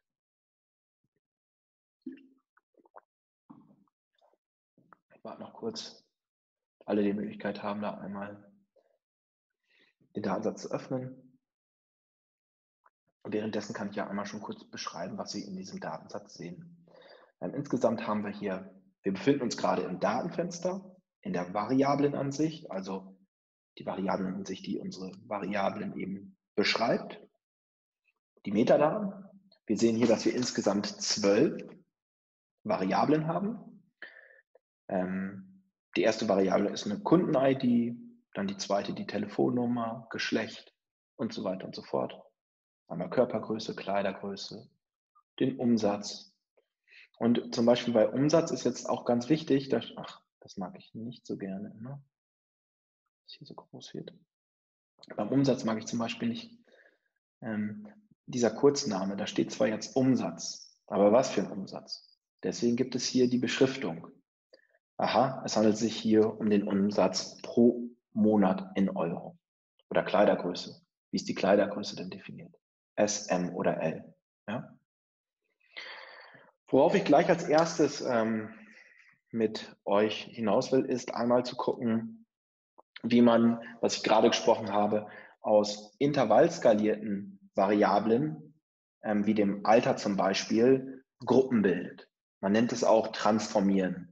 Und dieses Transformieren, ich mache das mal ein bisschen größer, ähm, das ist eben eine entscheidende ähm, Funktion von SPSS in der Datenvorbereitung. Also es kommt häufig vor, dass wenn Sie Daten bekommen, Sie erstmal Daten vorbereiten müssen. Also wir wollen das Alter jetzt nicht direkt irgendwie ähm, so nehmen, wie es ist, sondern warum auch immer, wir brauchen für unsere An Analyse ähm, drei Gruppen. Wir wollen unterscheiden zwischen jungen, zwischen mittleren und zwischen alten Kunden. Und dann geht, ähm, und jetzt gehen wir wirklich in die Datenvorbereitung. Wir arbeiten jetzt wirklich mit Daten. Schauen wir uns noch einmal die Daten an. Ich gehe jetzt in die Datenansicht. Und dort sehen wir jetzt die Rohdaten. Also der erste Kunde hat die Kundennummer 1 mit der Telefonnummer 7832, ist natürlich nur exemplarisch, männlich, ist 1,84 groß, Kleidergröße M, gibt gute 28 Euro bei uns im Monat aus. Beim Gewicht fehlt uns eben hier ähm, das, das, der, der Wert äh, Zufriedenheit. Hm, vier, auch da, was ist denn vier? Kleiner Trick für euch. Häufig ist es so, dass man oft zwischen Daten- und Variablenansicht rumswitchen muss. In diesem Fall weiß ich jetzt nicht, was der Wert 4 bedeutet. Klick also mit Doppelklick auf den Spaltenkopf, komme direkt hier in die Variablenansicht, die mir sagt, aha, wie ist denn die Kundenzufriedenheit definiert? Kundenzufriedenheit, ach, das mag ich wie gesagt überhaupt nicht. Also ein bisschen, so, gehen wir hier rein. Kundenzufriedenheit mit dem Service von 1 bis 10. Und hier fehlt eigentlich noch eine Information, wobei 10 unzufrieden. Das war jetzt schlampig von mir dokumentiert. Genau. Klicke ich wieder auf den Zeilenrand doppelt, komme wieder hier direkt in die Zufriedenheit. Ähm, derjenige war 18 und dann haben wir Werbung, wo der, bei, wo wurde er mit der Werbung aufmerksam? Er hat uns bei Instagram gesehen, bei Google gesehen und bei anderen. Okay.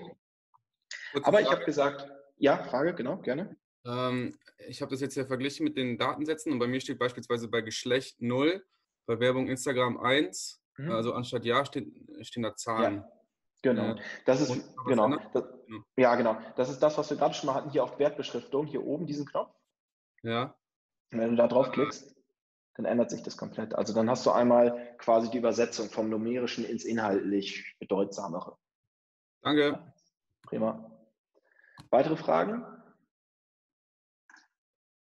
Okay, also wir wollen jetzt ähm, das Alter unterteilen. Wir wollen ähm, die Jungen haben, unter 20. Wir wollen die Mittleren haben, 21 bis 30 und die, die über 30 sind. Transformieren nennt man das Ganze. Wir können hier auf Transformieren klicken, Variable ähm, umkodieren in, ähm, umkodieren in eine andere Variable. Also wir wollen jetzt aus dieser Variable eine neue, eine gruppierte Variable machen. Und auch da, gerade diejenige, die meinte mit der Berufserfahrung in Monaten, fragt die Berufserfahrung in Monaten oder in Jahren halt einmal ab. Kategorisieren, gruppieren könnt ihr sie nachher immer noch. Also transformieren, umkodieren in eine andere Variable. Und dann wollen wir mit der Variable und hier auch nochmal mein Hinweis. Das ist jetzt ein ganz typisches Bild in SPSS. Links habt ihr immer die Variablen, mit denen ihr arbeiten könnt. Also das sind die euch zur verfügbaren Variablen. Auf der rechten Seite, mit denen ihr jetzt tatsächlich etwas anfangen wollt. Jetzt wollt ihr umkodieren in eine andere Variable. Ihr wollt aus der intervallskalierten Variable Alter eine Gruppierungsvariable machen, eine ordinalskalierte Variable. Alter in Jahren wählen wir also aus. Ihr könntet entweder mit einem Doppelklick da drauf klicken oder, ich nehme das mal wieder zurück, ihr könnt diese Variable anwählen und dann mit dem Pfeil oder ihr könnt die Variable so mit Drag and Drop rüberziehen. Alles möglich. Kein Problem. Und jetzt können wir hier sagen, alte und neue Werte. Der Bereich 0 bis 20 Jahre. Das sind die alten Werte. Die sollen den neuen Wert 1 äh, erhalten. Klicke auf Hinzufügen. Die Personen, die 21 bis 30 sind, die sollen den Wert 2 erhalten. Diejenigen, die älter sind, also 31 bis 99, oder was ihr auch machen könnt, Bereich Wert bis größter, also 31 bis zum größten Wert in der Datenreihe. Ups. 31 bis zum größten Wert. Wäre gleichbedeutend mit ähm, 31 bis 99 oder so. Bekommen jetzt den Wert 3. Also wir erhalten jetzt aus einer intervallskalierten Variable, die die Jahre enthält, eine Gruppierungsvariable mit drei Gruppen. Das könnte, warum auch immer, fürs Marketing interessant sein, ja, dass man das gruppiert. Vielleicht hängen da irgendwelche Fragen. Ich habe das Ganze jetzt mit OK bestätigt und gehe jetzt in die Ausgabevariable hinein. Und hier muss ich jetzt noch erst einen Namen vergeben, um das Ganze zu verabschieden, also um diese Transformation ähm, endgültig zu machen. Und hier gebe ich jetzt ein Alter Klassen oder klassiert. Und hier kann ich schreiben, das Alter in drei Klassen, jung, mittel, alt. Und das wird gleich in meine Variablenbeschreibung übernommen. Und das ist jetzt so, was ich Stolperstein nenne in SPSS. Und da gibt es eine Menge von. Ähm, das sind so kleine Dinge, die mich manchmal auf die Spitze treiben, weil jetzt will ich eigentlich okay klicken. Ich habe alles gemacht. Ich habe meine Variable ausgewählt, ich habe die alten und neuen Werte definiert, ich habe hier einen Namen eingegeben, eine Beschriftung eingegeben, aber ich kann hier nicht okay klicken. Geht nicht. Und wie gesagt, das ist so ein kleiner Stolperstein. Ich muss hier noch auf Ändern drücken. Dann wird mir hier okay angezeigt. Und das kann manchmal ein bisschen nervig sein. Also da gibt es ein paar Stolpersteine, die mir auch immer wieder in den Weg kommen. Also ich arbeite jetzt relativ lange mit SPSS und ähm, also diese Stolpersteine gibt es immer wieder, auch die ich noch nicht kenne. Okay, verabschiede das mit OK. Und was jetzt passiert ist, ähm, es öffnet sich gleich ähm, einerseits ähm, das Ausgabefenster. Jetzt ich mal gucken. Ah, mein Laptop. Okay, ups. Also wenn ihr jetzt mitgemacht habt, sollte bei euch ein Ausgabefenster geöffnet werden. Bei mir ist das leider im Hintergrund. Und jetzt sind, sind wir zum ersten Mal im Ausgabefenster oder wie ich es nenne, Ergebnisfenster. Hier werden immer eure Ergebnisse präsentiert. In diesem Fall habt ihr eigentlich kein Ergebnis, ähm, sondern äh, SPSS gibt euch nur eine Rückmeldung, pass auf, hier ist was passiert. Und zwar habe ich das Alter recoded, also rekodiert. Und immer wenn dann Execute Punkt steht, dann ist es eigentlich ähm, gelungen. Gehe ich jetzt aber in meinen Datensatz, also in die Datenansicht zurück, und dann sehe ich hier das Alter klassiert. Doppelklicke ich nochmal auf den Spaltenkopf dann sehen wir hier, ähm, dass vieles unserer Beschriftungen übernommen, äh, unserer, unserer Definition übernommen wurde. Das Alter. Schaut, ich habe hier einen Unterstrich gemacht, weil ich keine Leerzeichen benutzen darf. Das Ganze ist numerisch. Die Breite ist 8, das ist okay, das haben wir gesagt. Dezimalstellen brauche ich eigentlich nicht. Ähm, das ist, hat jetzt einen äh, ästhetischen Aspekt, aber ich kann hier auf 0 gehen. Ja. Dann hat er meine Beschreibung übernommen, meine Beschriftung. Und bei Werte würde ich euch jetzt empfehlen, so etwas ähm, hinzuzufügen. Also klicke ich hier auf die Doppelpunkte und jetzt sage ich ja, die Klasse 1 waren ja die Jungen oder Jung, 2 war Mittel. Und vielleicht könnte ich hier sogar noch hinschreiben, was das bedeutet. Also Mittel wäre dann ähm, 20 bis 30, nee, 21 bis 30. Und der Wert 3 wäre äh, 31 und älter füge ich auch hinzu. Und das kann ich nochmal anpassen. Ich klicke hier drauf und passe das einfach an. Jung bis 20. Und ich sehe, ich war hier noch was vergessen.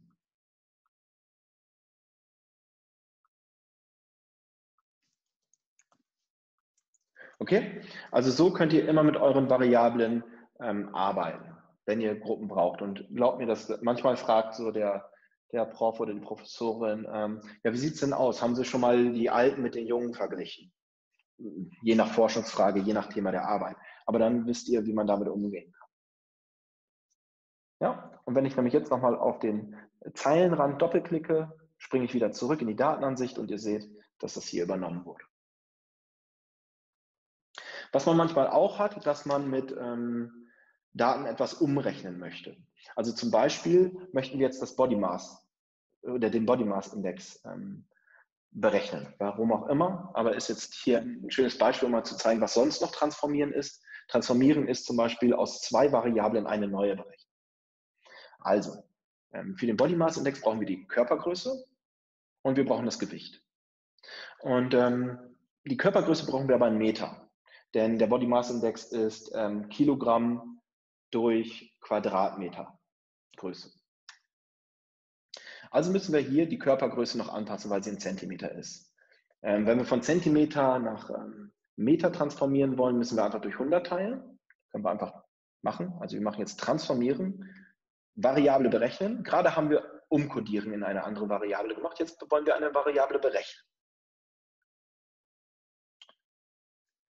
Hier wieder ganz typisch im Fenster, was ich gerade gezeigt habe, links die Variable, mit denen wir rechnen können, rechts was wir mit diesen Variablen machen. Auch hier nochmal ein kleiner Tipp von mir.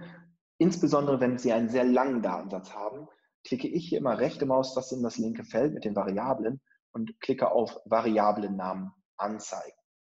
Dann habe ich hier eben den Kurznamen und wenn ich lange mit so einem Datensatz arbeite, dann ist das einfach übersichtlicher. Also, ich will die Körpergröße Und das ist jetzt, ziehe das hier rein mit Drag and Drop. Und wie im ganz normalen Taschenrechner auch, teile durch 100. Und die Zielvariable benenne ich Körpergröße Meter. Ja? Ich hoffe, ich bin nicht zu schnell gerade. Aber im, im Zweifel können Sie es ja nochmal im Video nachschauen. Was jetzt passiert, wir gelangen wieder, ich drücke OK, wir gelangen wieder ins Ausgabefenster. Hier im Ausgabefenster ist nicht viel zu sehen, außer eben nochmal meinen Befehl. Berechne mir meine neue Variable, die besteht aus Körpergröße geteilt durch 100. Execute hat wohl geklappt. Ich gehe wieder ins Datenfenster zurück. Aha, da ist meine Variable Körpergröße in Meter. Gut. Wollen wir uns damit nicht lange aufhalten? Wir wollen ja zum Body Mass Index kommen, also üben tun wir durch Wiederholen. Wir gehen auf Transformieren, Variable berechnen. Ich habe gerade gesagt, der Body Mass Index, BMI, ist Körper, ähm, das Körpergewicht in Kilogramm geteilt durch die Körpergröße zum Quadrat. Gut, muss man nicht auswendig wissen. Ähm, was habe ich hier gemacht? Wieder wie im Taschenrechner. Das Interessante ist hier dieser Doppelstern. Ähm, Doppelstern 2 bedeutet einfach nur, nimm die Körpergröße zum Quadrat. Also nimm das Gewicht und teile es durch die Körpergröße zum Quadrat. Und dann erhalten wir unseren BMI. Und wir klicken mal auf OK. Eine kurze Frage noch. Ja, gerne. Ähm, also ich habe das erste mitberechnet und wollte das zweite jetzt auch mitberechnen, aber wenn ich dann wieder in die Maske gehe, dann steht da noch das von dem alten mit drin. Mhm. Kann ich das einfach rauslöschen oder muss ich da jetzt irgendwas ähm, du musst es rauslöschen, aber ich zeige dir einmal, wie es ganz schnell geht. Ähm, genau, das bleibt da immer bestehen. Also immer, wenn ihr etwas berechnet habt, dann bleibt es erstmal da stehen. Das ist eigentlich auch ganz gut, weil manchmal will man nur eine Kleinigkeit ändern, weil ich mich hier vielleicht, vielleicht vertippt habe oder so. Aber wenn du eine komplett neue Berechnung anfangen willst, ist es störend und dann klickst du hier einfach auf Zurücksetzen. Ah, okay. Ja. ja. Und dann ist es quasi wieder auf den Standardwert. Also das ganze Fenster ist leer und du kannst eine neue Berechnung starten. Okay.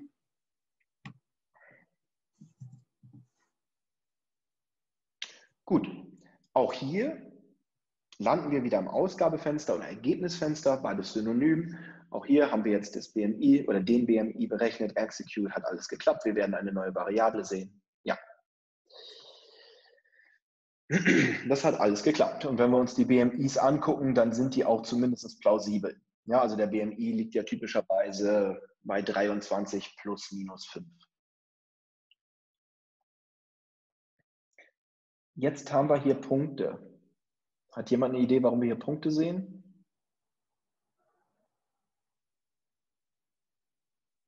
Das sind die, wo ähm, das Gewicht nicht angegeben ist oder fehlt. Da steht minus 999. Genau. Ähm, wir brauchen ja das Gewicht, um den BMI zu berechnen.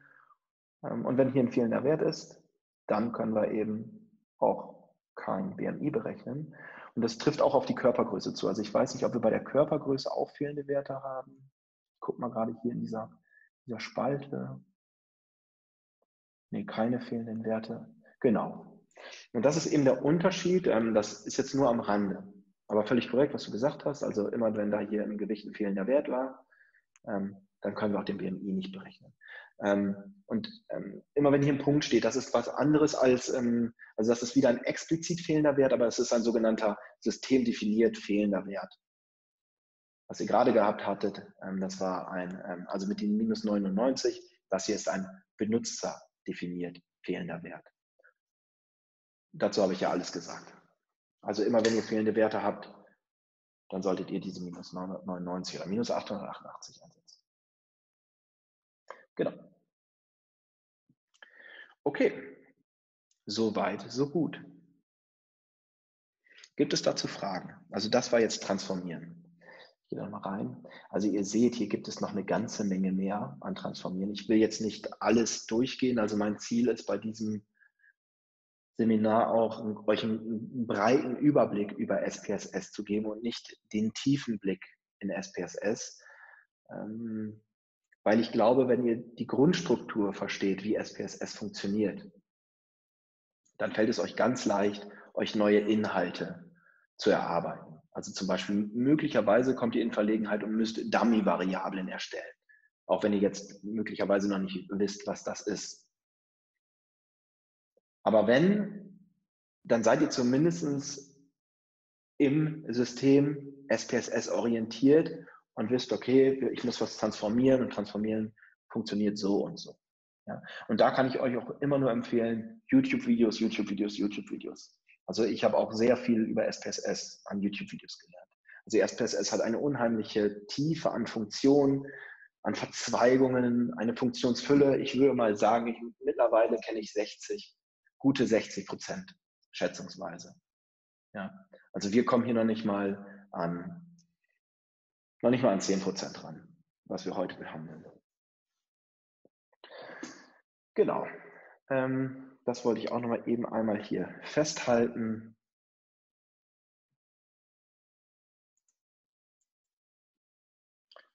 Äh, ist das Zoom-Fenster gerade im Weg. Ups.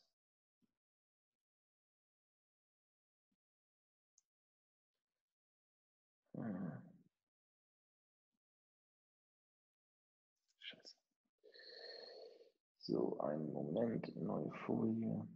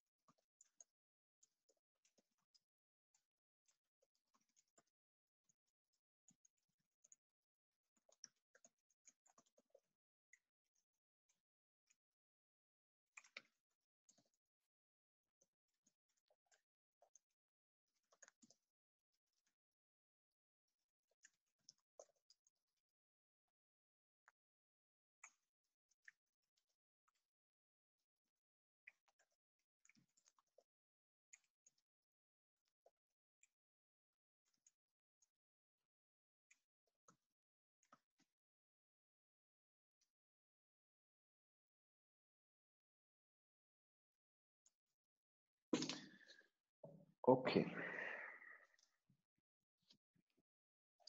Gut. Bis hierhin auch noch, also ihr könnt immer gerne fragen, auch wenn ich da gerade am Tippen bin. Sonst noch Fragen?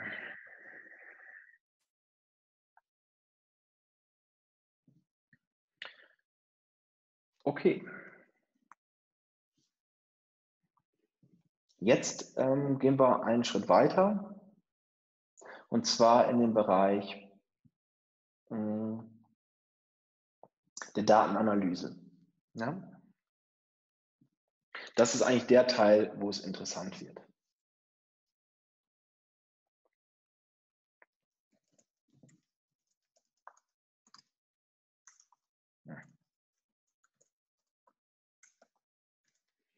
Gut. Datenanalyse. Und da starte ich jetzt erstmal ähm, nochmal ganz kurz mit dem Statistikunterricht. Und zwar, was man als allererstes machen möchte, ist eigentlich eine deskriptive Statistik. Wenn ihr eine Abschlussarbeit ähm, im quantitativen Bereich schreibt, dann ist eigentlich das ähm, Wichtigste, dass ihr erstmal eure Daten deskriptiv auswertet. Deskriptiv bedeutet ja nichts anderes als beschreiben. Und Warum beschreibt ihr oder müsst ihr Daten beschreiben? Weil das eigentlich ähm, zeigt, dass ihr euch mit Daten auseinandersetzen könnt, ähm, diese eben zu erfassen. Das Herzstück deskriptiver Statistik ist eigentlich aus vielen Zahlen wenige interpretierbare und repräsentative Zahlen zu machen. Also ihr könntet ja auch Daten erheben und dann der Prüferin sagen, hier, das sind meine Daten, das ist mein Datensatz, viel Spaß damit, da steckt ja schon alles drin. Im, im Grunde wäre das nicht falsch. Aber erst die deskriptive Statistik, also die Auswertung in sinnhafte Zahlen, in repräsentative Zahlen, ähm, macht so einen Datensatz verständlich. Ja? Und deskriptive Zahlen, und ich wiederhole mich hier, ist eigentlich die Beschreibung von Zahlen, von vielen Zahlen, mit wenigen, aber dafür aussagekräftigen Zahlen. Zum Beispiel könnten wir die Frage haben, Wir haben hier einen Datensatz von Kunden eines Kleidungshändlers. Ähm, von diesen Kunden haben wir die ID, die Telefonnummer, das Geschlecht etc.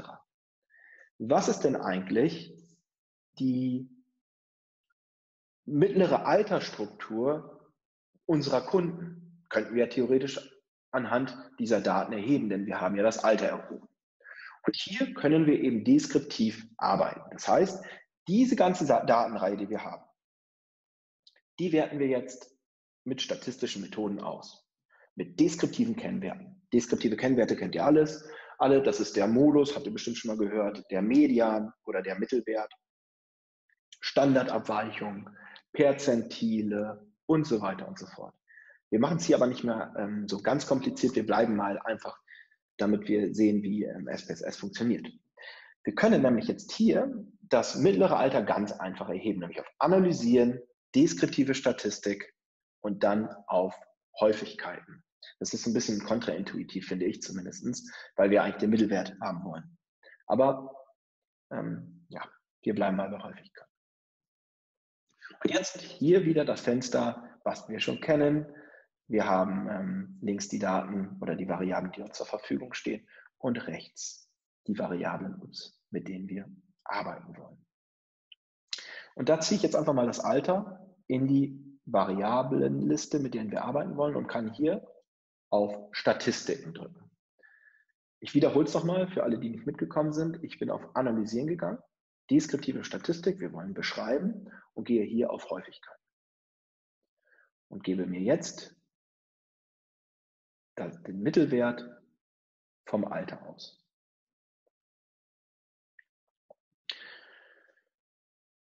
Rechts seht ihr auch noch etwas ganz Typisches. Da wird es nämlich immer spannend. Ähm, das meine ich mit, dass SPSS sehr verzweigt ist. Hier rechts stehen euch ganz viele Optionen immer zur Verfügung. Also ihr könnt hier nochmal spezifizieren, was wollt ihr denn für deskriptive Statistiken anfordern.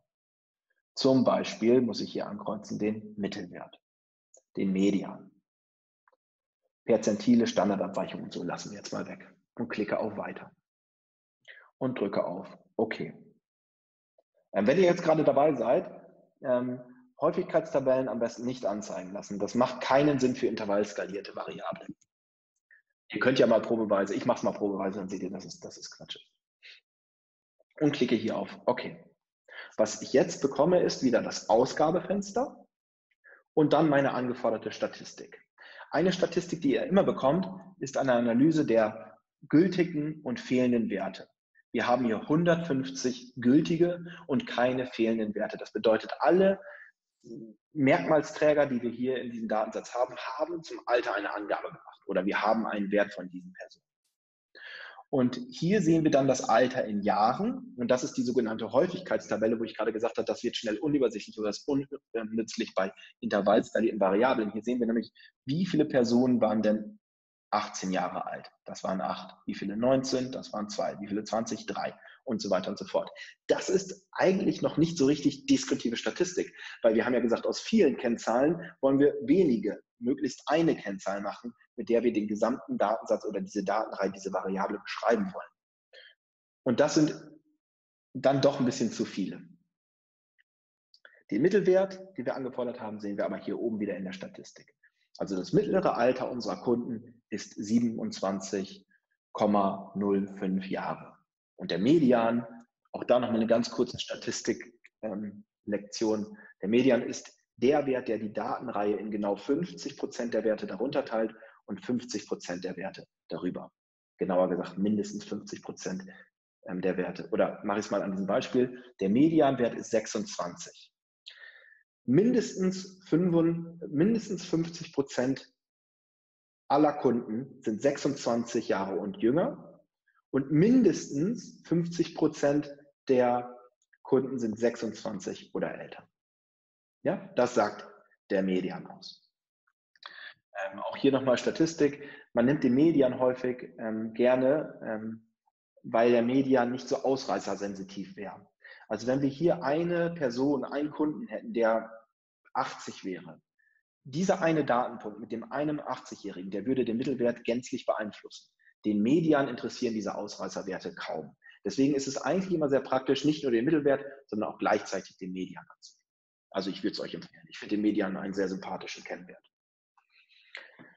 Okay. So viel dazu. Der Mittelwert. Fragen dazu?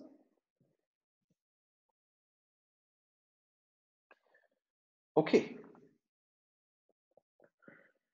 Dann haben wir noch die Möglichkeit, ähm, ordinal skalierte und nominal skalierte Variablen zusammenzufassen. Hier können wir nicht den Mittelwert nehmen. Also wir können äh, von Nominalskalenniveau schon mal gar nicht. Also wir können von Automaten, ne, das ist ja typischerweise gruppiert und nominal skaliert, können wir keinen Mittelwert rechnen. Ähm, aber wir können von ähm, diesen nominalen Kategorien oder von den ordinalen Kategorien Zusammenfassungen machen. Und da sind wir häufig dann eben schon bei Häufigkeit. Und jetzt wollen wir mal wissen, okay, hm, gehen wir mal auf das Geschlecht, das mag ja auch interessant sein. Ähm, wie viele männliche und wie viele weibliche Kunden haben wir? Und dazu geht ihr wieder auf Analysieren, deskriptive Statistik. Und jetzt passt Häufigkeit etwas besser. Ja, weil wir jetzt eigentlich Häufigkeiten haben wollen. Wie viele Männer und wie viele Frauen haben wir als Kunden? Klicken auf Häufigkeit. Komme wieder in dieses Fenster, das ich gerade schon hatte. Und ehrlich gesagt ähm, sehen wir wieder, dass ich eigentlich nichts getan habe. Klicke hier auf Zurücksetzen und bin wieder komplett blank im Standardmodus und kann jetzt einfach hier das Geschlecht wählen und zu der Variable hineinziehen, mit der ich etwas berechnen möchte. Ihr könntet jetzt quasi auch den Mittelwert an, ähm, anwählen, aber der würde euch nicht, nichts viel geben. Wenn ihr euch mit Nominaldaten und mit kategorialen Daten, äh, kategorialen Daten befasst, also mit ordinale Daten, dann ähm, nimmt den Modalwert. Der Modalwert ist der Wert, der ähm, am häufigsten in einer Datenreihe vorkommt. Also in diesem Fall wird der Modalwert männlich sein, wenn ähm, wir mehr Männer haben oder er wird weiblich sein, wenn wir mehr Damen in der Stichprobe und in diesem Datensatz haben. Ich klicke auf Modalwert, klicke auf Weiter. Und mal zum Spaß, wir können uns hier auch schon Diagramme anzeigen lassen. Das ist eigentlich ganz nett. Wir können uns einfach mal hier so ein Kreisdiagramm anzeigen lassen. Ja, und dann haben wir nachher einen Kreis mit dem Anteil Frauen und Männer. und klicke hier auf OK. Hier geht es jetzt wieder los, meine Häufigkeiten, das Geschlecht. Wir haben wieder 150 gültige Werte. Der Modus ist 0. Jetzt müssen wir wissen, wofür steht denn dieser Modus? Hier oben steht es, 0 steht für männlich. Das heißt, wir haben mehr Männer als Frauen in unserer Stichprobe. Und das sehen wir auch hier jetzt in dieser sogenannten Häufigkeitstabelle. Wir haben 82 Männer, das entspricht 54,7 äh, Prozent. Und wir haben 68 Frauen, das sind 45,3 Prozent. Und hier eben das Diagramm. Zu den Diagrammen sage ich später noch etwas.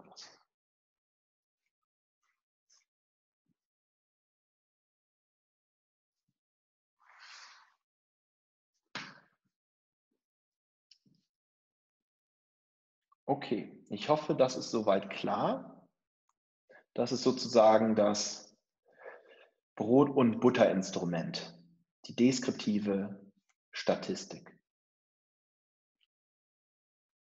Und ihr seht, ich wechsle hier immer zwischen den Fenstern. Also das macht es eben aus. Also ich wechsle jetzt zwischen dem Datenfenster, das hier jetzt im Hintergrund steht, einfach über einen Klick und komme hier wieder ins Ausgabefenster mit einem Klick in den Hintergrund.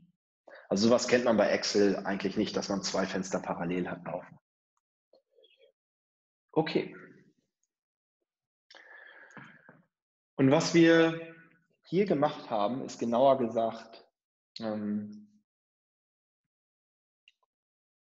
univariate deskriptive Statistik. Warum univariat?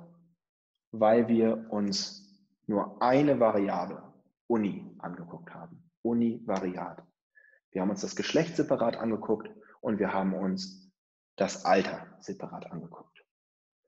Interessant wird es eigentlich erst in der sogenannten bi- oder multivariaten deskriptive Statistik. Und da gehen wir jetzt mal rein. Und für die Leute, die jetzt ähm, so ein bisschen träge geworden sind, aber dennoch in einer Arbeit später ähm, mit SPSS arbeiten wollen, sollten jetzt nochmal genau zuhören, weil das wird euch nachher sehr viel Zeit sparen, glaubt mir. Also ich habe schon Dinge erlebt, ähm, wie man das hier, wie man bivariat arbeitet. Dabei geht es so leicht. Ja? Ähm, also viele Studierende machen es sehr umständlich, aber es geht sehr leicht. Und wie, das zeige ich euch jetzt. Wir gehen jetzt in die bivariate deskriptive Statistik rein. Wir betrachten jetzt zwei Variablen. Wir können jetzt uns einfach überlegen, wer gibt mehr Geld bei uns aus? Sind es die Frauen oder die Männer? Um diese Frage zu beantworten, müssen wir zwei Variablen nehmen, nämlich einmal den Umsatz und einmal das Geschlecht. Nur wenn wir beide vereinen, bekommen wir eben die Frage beantwortet, die wir stellen. Geben Männer oder Frauen im Mittel mehr aus? Und das Ganze, um das Ganze jetzt ähm, zu initiieren, müssen wir ins Fenster Daten gehen. Also wir waren schon auf Transformieren, wir waren schon auf Analysieren und das dritte Menü, was ich euch jetzt präsentiere, sind Daten. Und jetzt sagen wir, okay, wir möchten ja Mittelwerte ausrechnen, aber nicht univariat, sondern hinsichtlich des Geschlechts. Und deswegen müssen wir jetzt die Datei aufteilen. Das findet ihr unter Daten, Datei aufteilen. Wenn ihr jetzt hier draufklickt, dann seht ihr alle Fälle analysieren, keine Gruppen bilden. Naja, was ihr aber jetzt machen wollt, ist eigentlich Gruppen vergleichen. Und zwar, welche Gruppen? Hier links seht ihr wieder die Gruppen, die ihr zur, oder die Variablen zur Verfügung hat. Naja, das Geschlecht. Und zieht es hier wieder per Drag and Drop rein. Was SPSS jetzt macht, ist teilt den Datensatz in männlich und weiblich aus. Das könnt ihr mit OK bestätigen. Wir kommen wieder ins Ausgabefenster, sehen hier nochmal ganz kurz diesen Syntaxcode, das Split File Layered by Geschlecht, also dass eben jetzt diese Datei aufgeteilt ist. Im Grunde hat sich aber eigentlich gar nichts getan. Der Datensatz ist immer noch komplett gleich. Es hat sich auch sonst nichts in dem Datensatz irgendwie getan außer dass ihr hier rechts unten in diesem kleinen Teil seht, dass der Datensatz aufgeteilt ist nach dem Geschlecht. Und wenn ihr jetzt nochmal reingeht, ins Analysieren, in die deskriptive Statistik, in die Häufigkeiten und wieder zurücksetzt und jetzt den Umsatz pro Monat als die Variable nehmt, die ihr eben anschauen wollt, dann wird euch gleich hm, die Ausgabe zwei Mittelwerte präsentieren. Ich schaue nochmal, ob wir die Mittelwerte angewählt haben. Haben wir nicht. Klicke ich nochmal an. Die Medien nehmen wir auch wieder mit. Kostet nichts mehr. Und klicke auf Weiter. Und jetzt klicke ich auf OK. Wir kommen wieder ins Ausgabefenster. Ja, wir haben die Häufigkeitstabellen wieder mitgenommen. Die interessieren uns jetzt nicht. Also ihr seht wieder, warum so Häufigkeitstabellen bei intervallskalierten Variablen so ein bisschen blöd sind. Aber was uns interessiert, ist ja unsere deskriptive Statistik. Hier haben, erinnert euch gerade nochmal an das Fenster, wie es aussah. Ich gehe nochmal hoch. Hier haben wir einen Mittelwert und einen Median bei 150 gültigen Werten. Jetzt haben wir die Datei aufgeteilt und jetzt haben wir die, den Mittelwert und den Median sowie ähm, für die Männer und die Frauen. Und wir sehen, der Umsatz pro Euro liegt bei den Männern im Mittel bei 91,5 Euro. Bei den Frauen 133,95. Also hier haben wir schon ein interessantes Ergebnis, nämlich dass die Frauen doch deutlich mehr ausgeben als die Männer. Und wenn ihr jetzt eine Abschlussarbeit in dem Bereich schreibt, dann wäre das schon mal ein ganz interessanter deskriptiver Wert, der sich weiter interpretieren lässt. Oder stellt euch vor, ihr seid tatsächlich im Marketing zuständig und berichtet an den Vorstand oder an die Geschäftsführung, dann könnte die das durchaus auch interessieren. Weil daraus lassen, lassen sich ja jetzt auch möglicherweise konkrete Maßnahmen ableiten. Also man könnte jetzt sagen, okay, wir müssen irgendwie mehr Werbung bei den Männern schalten, weil die mehr Geld bei uns ausgeben sollten. Auf der anderen Seite könnte man sagen, ja, aber wir haben ja eigentlich mehr Männer, vielleicht sollten wir uns auf die Frauen mehr fokussieren, weil die mehr Geld bei uns lassen. Also ihr seht, dass aus diesen deskriptiven Statistiken schon konkrete Diskussionen und konkrete Maßnahmen hätten abgeleitet werden können. Ja, sowohl in der Forschung, aber auch eben im praktischen Alltag. Eine Sache, die ich in diesem Zuge noch erwähnen möchte, ist, dass wir nicht nur, wenn wir auf Analysieren klicken und deskriptive Statistik und so weiter, dass wir diesen Weg nicht immer gehen müssen. Glaubt mir, wenn ihr irgendwann in der Bachelor- und der Masterarbeit seid und die ganze Zeit rumklickt, dann werdet ihr irgendwann müde.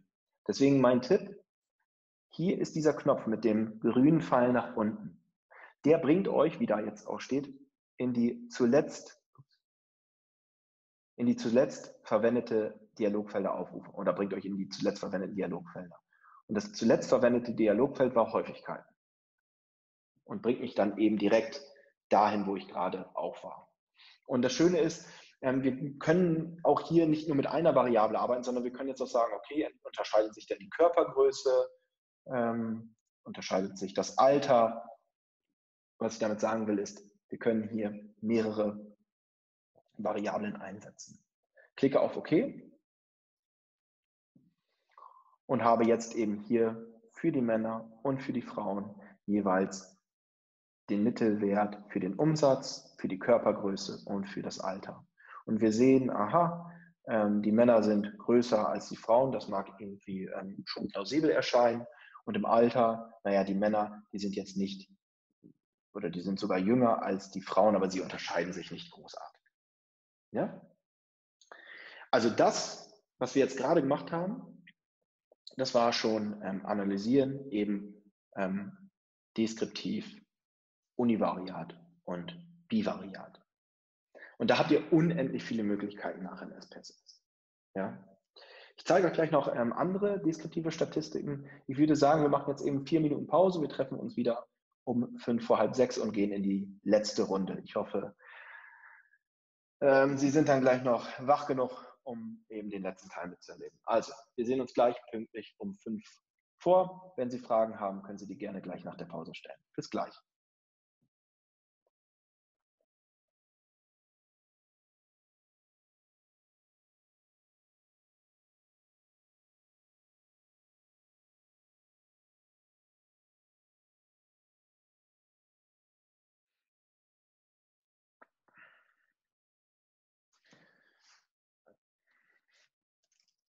Okay, ähm, ich fange hier gerade schon mal wieder an, kurz aufzuschreiben, was wir gerade gemacht haben. Deskriptive Statistik. Ähm, beschreiben vieler mit wenig, aber aussagekräftigen Kennzahlen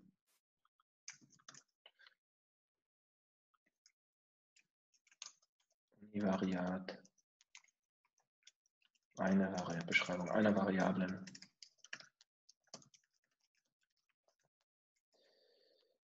Bivariat.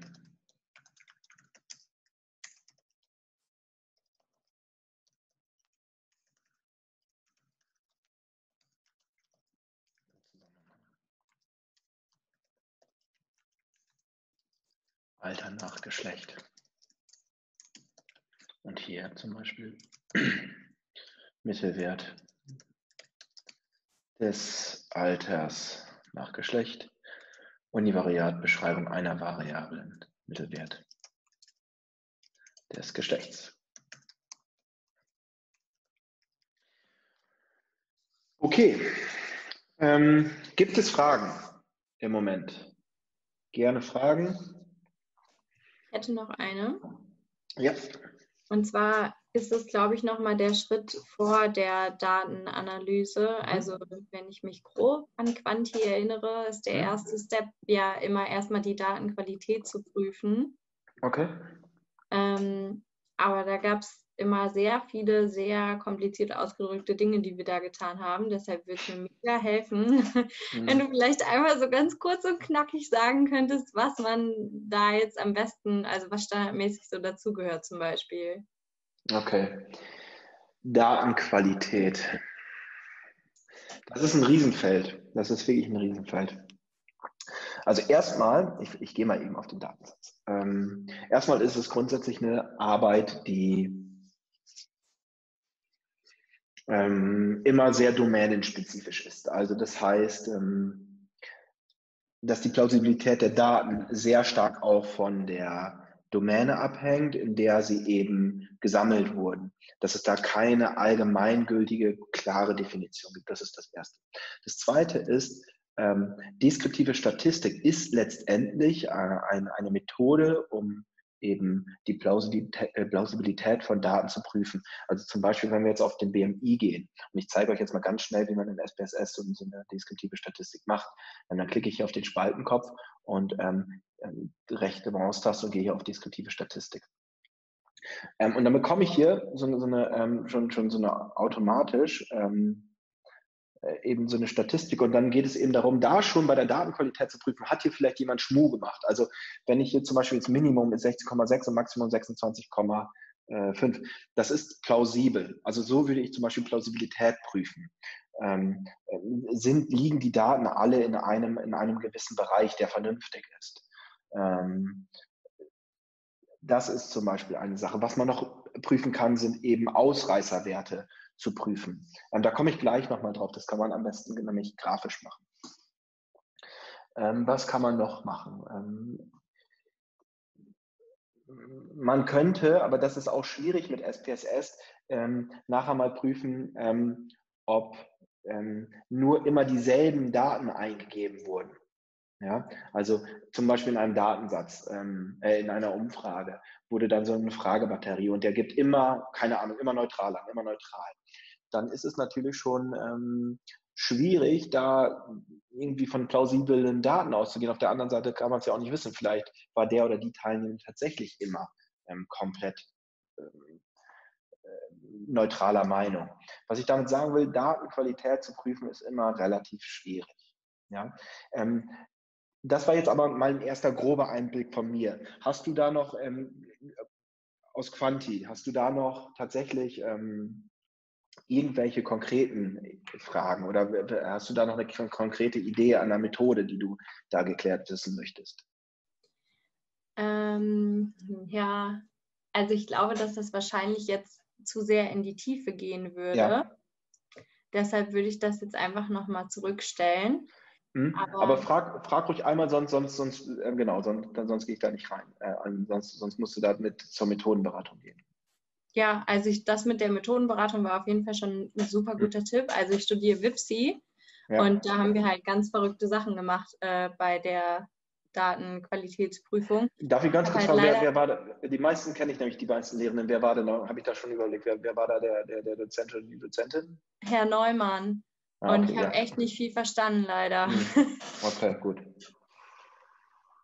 Ja. Das war bisher alles schon super hilfreich. Also wenn wir das eventuell grafisch mit den Ausreißern vielleicht noch gleich mal machen können ja. oder so, dann wäre das wahrscheinlich auch schon echt super. Ja, genau. Okay, das mache ich gleich noch ähm, grafisch mit den Ausreißern. Genau. Danke. Ähm, ich, ich glaube, es geht da, genau, also gut, dass du es mal angeschaut hast, da gibt es ganz viele, also ganz viele Unterschiede. Ich habe jetzt gedacht, ob du vielleicht auf eine Methode hinauslaufen willst. Eine zum Beispiel ist QQ-Analysen. Wenn dir das was sagt oder euch was sagt, QQ ähm, findet ihr hier zum Beispiel.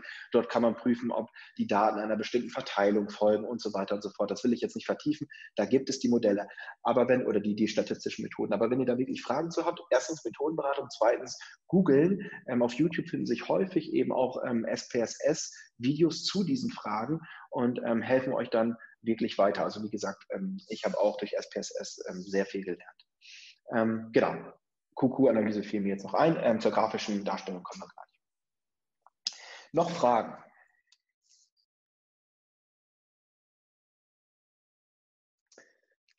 Okay, sonst dazwischen grätschen, keine Frage. Was wir gerade gemacht haben, war die bivariate Statistik. Und erst in der bivariaten Statistik geht es wirklich los. Da kann man anfangen zu erklären. Also ich habe gerade das Beispiel gemacht, wir haben Gruppen aufgeteilt und dann intervallskalierte Variablen geprüft, zum Beispiel ähm, das Alter in, vor dem Hintergrund des Geschlechts und so weiter und so fort. Was man auch machen kann, anstatt jetzt gruppierte Variablen, also ähm, ähm, nominal skalierte Variablen mit intervallskalierten Variablen gegenüberstellen, ist einfach ähm, ähm, nominal oder kategorale Variablen, ordinal, nominal mit anderen ordinalen Variablen gegenüberstellen. Und das ist auch etwas, worauf ihr auf jeden Fall ähm, stoßen werdet, wenn ihr mit Line Survey, wenn ihr quanti äh, quantitativ arbeitet, dass ihr dann diese Frage stellt, wie verhält sich die eine nominale Variable zur anderen nominalen Variable oder zur ordinalen Variable. Ähm, das will ich euch gleich zeigen. Wenn wir jetzt einfach so wieder fröhlich drauf los analysieren würden, dann hätten wir ein Problem. Nämlich, dass wir immer noch hier unten sehen, dass die Daten nach dem Geschlecht aufgeteilt sind. Und das wäre jetzt blöd, weil wir jetzt eben nicht mehr nach dem Geschlecht aufteilen wollen. Deswegen geht ihr bitte hier auf ähm, Daten ähm, und geht wieder auf Datei aufteilen und nimmt den Gruppenvergleich raus, sondern setzt den Haken bei alle Fälle analysieren und keine Gruppen bilden. Also, da einmal den Haken wieder machen.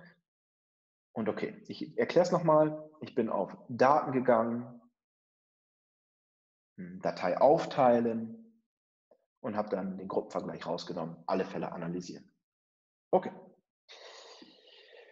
Ähm, was ihr auch seht, ist, dass dieses Ausgabefenster die ganze Zeit weiterläuft. Also dieses Ausgabefenster, wir sind angefangen mit dem Recoden hier oben, dann haben wir uns ein paar Häufigkeiten ausgeben lassen, dann Diagramm mal zwischendurch. Also das sortiert quasi oder listet chronologisch letztendlich eure Ergebnisse, die ihr angefordert habt. Speichern könnt ihr das Ganze mit dem Diskettensymbol wie bei eben Word oder anderen Programmen auch. Ich speichere das jetzt nicht, aber wenn ihr mal eine Ausgabe speichert, ähm, insbesondere für die Bachelorarbeit, auch da oder Masterarbeit, auch da ist es ganz wichtig, dass ihr nachvollziehbar darstellt, was, ähm, was ihr berechnet habt. Und es gibt Pluspunkte, wenn man eben in den Anhang nochmal ähm, die, die, die, die wichtigsten Ergebnisse im SPSS-Ausdruck äh, ähm, darstellt.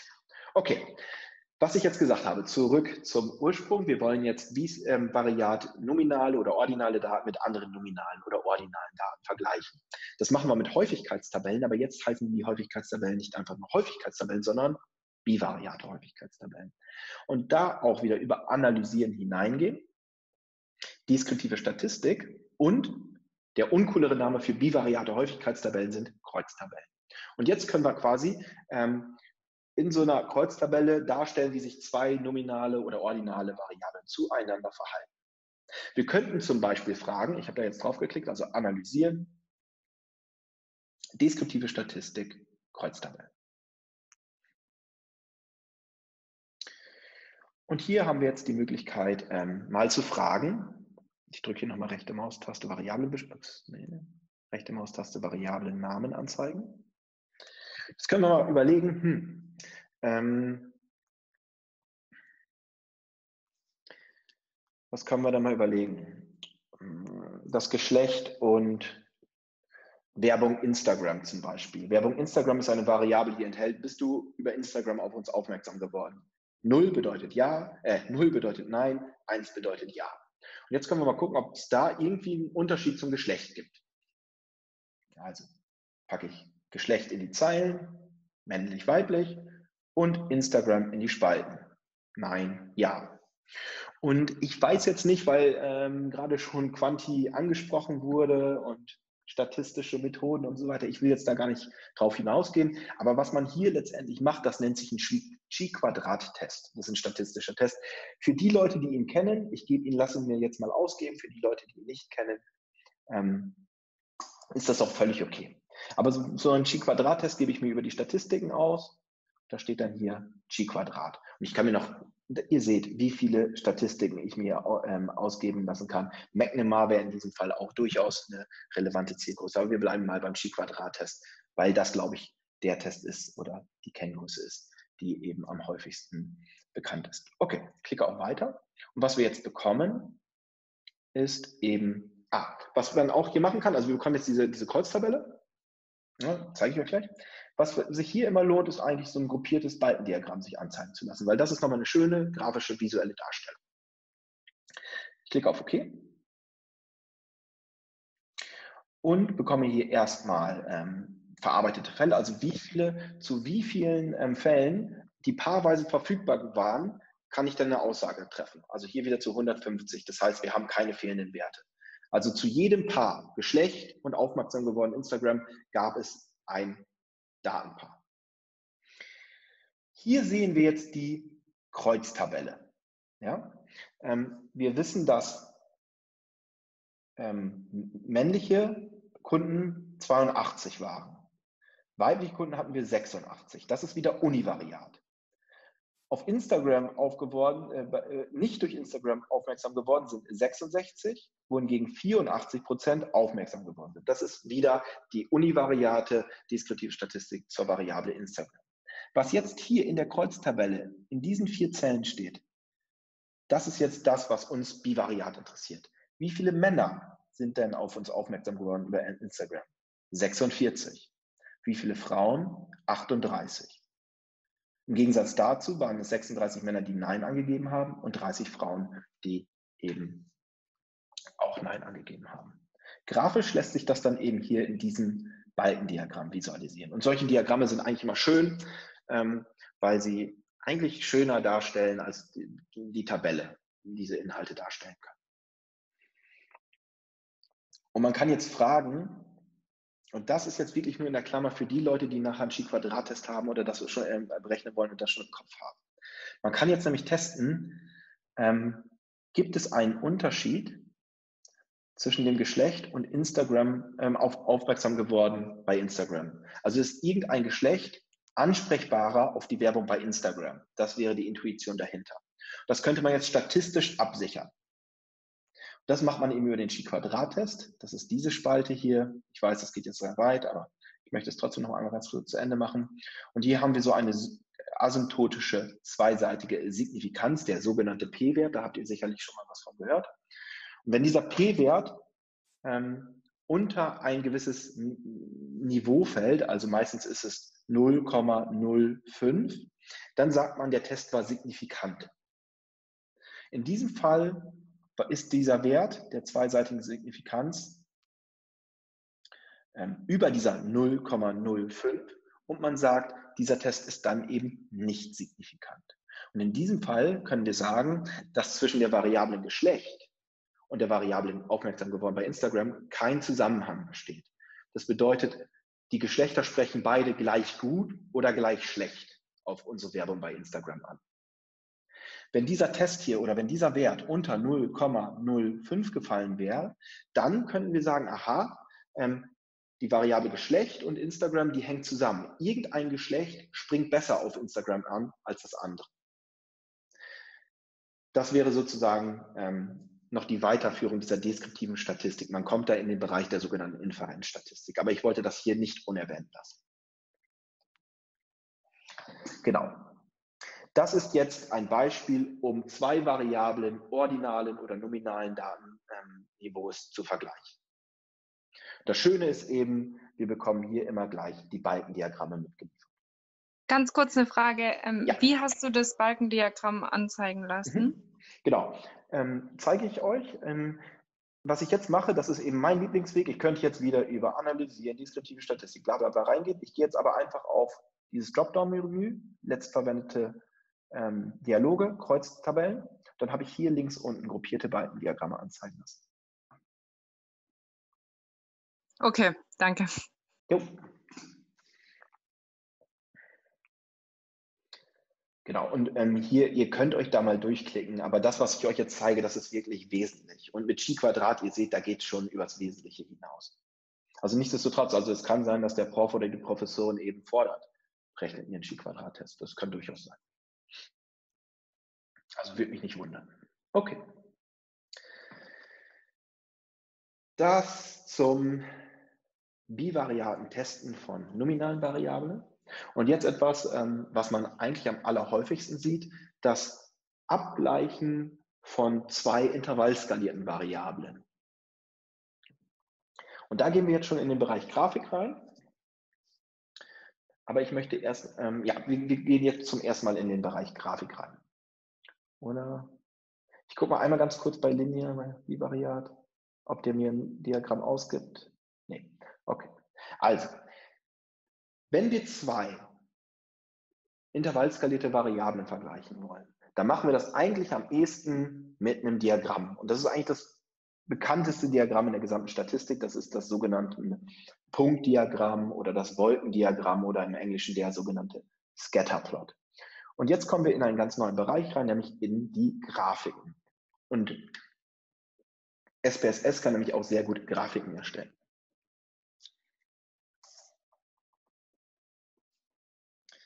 Dazu gehe ich auf Grafik und Diagrammerstellung. Dort kommen wir wieder in unser Menü, das jetzt etwas anders aussieht, aber im Grunde ähnlich wie gerade. Links haben wir die Variablen, mit denen, denen, die wir zur Verfügung haben. Und hier haben wir jetzt ein Fenster. In diesem Fenster bauen wir jetzt nach und nach unser Diagramm zusammen. Als erstes müssen wir auswählen, welches Diagramm. Weil wir kontinuierliche mit kontinuierlicher Variable vergleichen möchten, habe ich gesagt, wir nehmen ein Punktdiagramm oder hier steht auch Streudiagramm. Das können wir nehmen. Das packen wir einfach per Drag and Drop hier rein. Jetzt haben wir eine X-Achse und eine Y-Achse. Wir vergleichen jetzt, ähm, ob das, der, die Körpergröße in Zentimeter, die packe ich auf die X-Achse, wieder per Drag and Drop. Und das Körpergewicht zueinander im Verhältnis stehen, ob diese Variablen abhängig sind. Abhängigkeit von Variablen bedeutet, wenn ich Informationen über die eine Variable habe, kann ich damit auch auf die ähm, andere Variable schließen. Also wenn zwei Variablen miteinander abhängig sind, dann bedeutet das, wenn ich die Körpergröße kenne, kann ich eigentlich schon etwas über das Körpergewicht sagen. Wenn sie komplett unabhängig sind, dann hilft mir die Information über die Körpergröße nicht, etwas über das Körpergewicht äh, zu sagen. Ich glaube, ich habe mich gerade ein bisschen vertan in den beiden Variablen, aber ich hoffe, es ist klar geworden, was ich hier meine. Also wir haben das Streudiagramm ausgewählt, haben es hier reingezogen und die Achsen eben beschriftet. Und klicken jetzt mit OK weiter, kommen wieder ins Ausgabefenster und wir sehen jetzt hier auf der X-Achse die Körpergröße und auf der Y-Achse das Körpergewicht. Und wir sehen hier, dass diese Variablen schon, wie erwartet, miteinander abhängig sind. Das heißt, große Menschen sind auch eher schwere Menschen, also die Leute, die über 1,90 sind, sind für gewöhnlich auch über 80 Kilogramm. Die Leute, die unter 1,70 sind, sind für gewöhnlich auch eher ähm, unter 70 Kilogramm. Und man kann hier dann so eine, man nennt es Regressionsgrade durchzeichnen, ähm, die dann eben nochmal ja, anzeigt, wie die Abhängigkeit bei der Variablen ist. In diesem Fall ist die Abhängigkeit positiv. Ähm, kleine Menschen sind auch eher leicht und große Menschen sind auch eher schwer. Das ist eigentlich intuitiv verständlich. Das ist jetzt eine klassische bivariate Statistik zweier intervallskalierter Variablen. In diesem Fall ist ebenfalls ähm, ein Diagramm wunderbar, wie gerade auch im Fall des Balkendiagramms. Was wir jetzt hier noch machen können, ist, das Ganze zu quantifizieren. Und die Abhängigkeit zweier intervallskalierter Variablen, die quantifiziert man mit dem sogenannten Korrelationskoeffizienten. Ich denke, davon habt ihr schon gehört. Und diesen Korrelationskoeffizienten, der gehört eben auch zur bivariaten deskriptiven Statistik. Und wie man den ausrechnet, zeige ich euch jetzt. Wir gehen wieder über Analysieren. Deskriptive Statistik nicht. Ja, sondern es gibt hier einen eigenen Menüpunkt Korrelation. Und hier ganz klassisch bivariat. Ja, bivariat, zwei Variablen werden miteinander verglichen.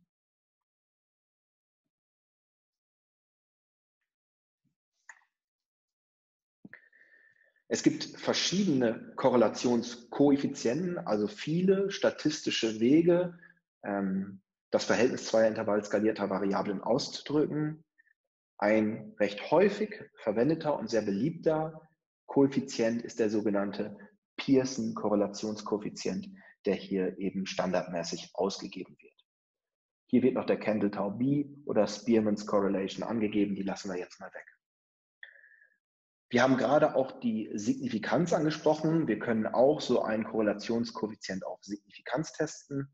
Kommen wir gleich drauf. Aber erstmal wählen wir die Variablen aus.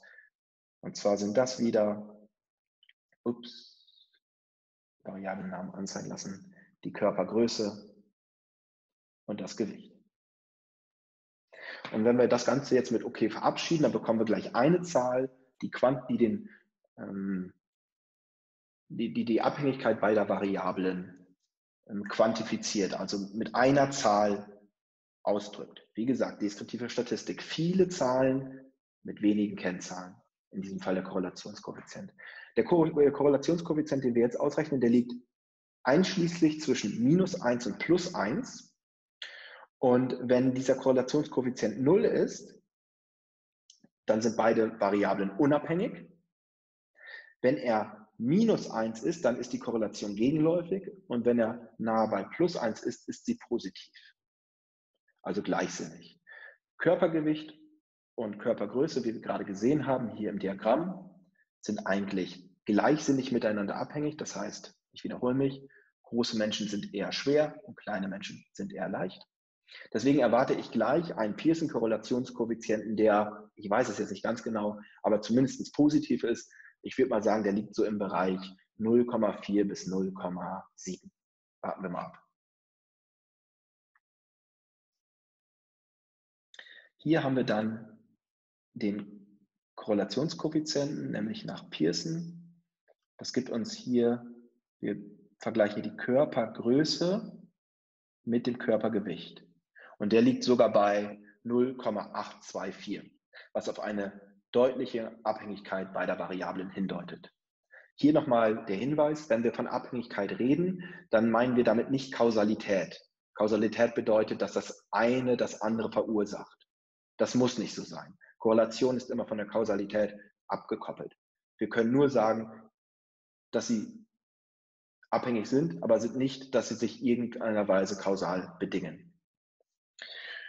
Genau. Und dieser Korrelationskoeffizient ist nahe plus eins. Das heißt, wir haben hier quantifiziert, dass, dass, dass die Körpergröße mit dem Körpergewicht korreliert, also abhängig ist. Denkt noch mal ganz kurz nach, was diese Eins hier bedeutet. Das ist die Korrelation, auch der Korrelationskoeffizient. Hat da jemand eine Idee?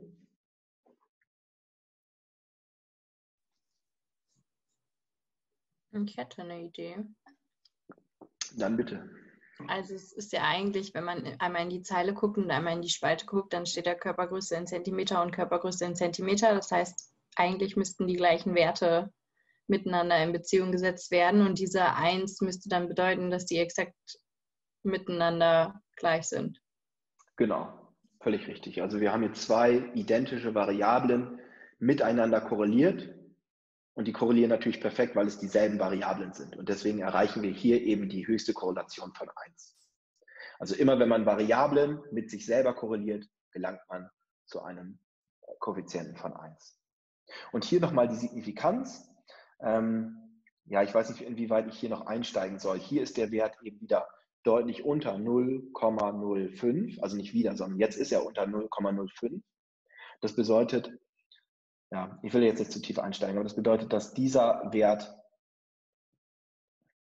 signifikant von 0 unterschiedlich ist und dass wir eben eine signifikante Korrelation haben. Wenn ihr so etwas habt, dann sprecht auch kurz mit eurem Prof, eurer Professorin ab, ob eben so etwas angegeben werden soll ähm, wie die Signifikanz. Ja?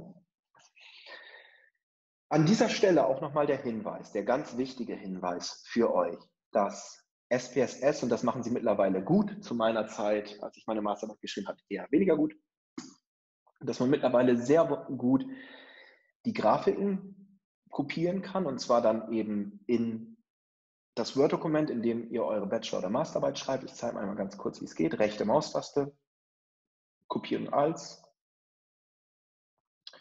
äh, nee, exportieren, nee, also ich wundere mich gerade, warum ich das nicht, ah, kopieren. Ich kann es hier kopieren. Ich öffne jetzt einfach mal Word.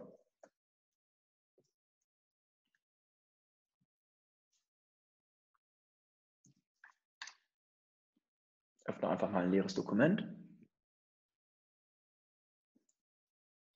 und kann es quasi hier rein kopieren. Ja?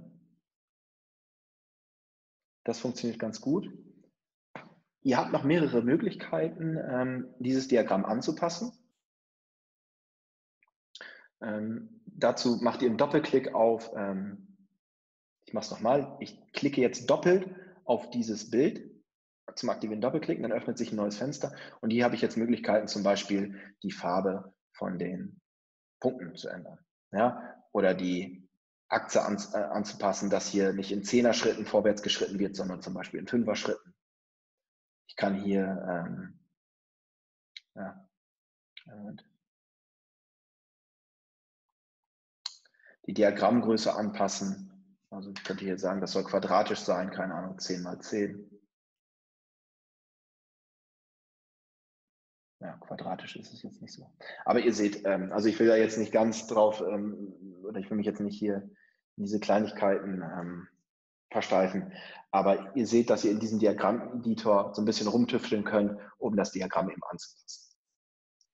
Manchmal, und das, äh, und das, das gilt auch eben für diese Tabellen, wie diese Korrelationstabelle, die könnt ihr auch kopieren und nach Word kopieren, also in, eure, in euer Dokument. Ja, ich probiere es gerade mal. So. Ähm, ach so, ich dachte, das wäre jetzt besser. Naja, gut. Ähm, aber was ich euch sowieso empfohlen hätte, wäre nämlich, das Ganze in Excel zu kopieren. Also die Ausgabe von ähm, SPSS. Einen Moment mal, das sah sonst anders aus. Kurzen Augenblick. Inhalte kopieren. Jetzt habe ich gerade SPSS so gelobt, dass es so wunderbar funktioniert. Jetzt funktioniert es nicht.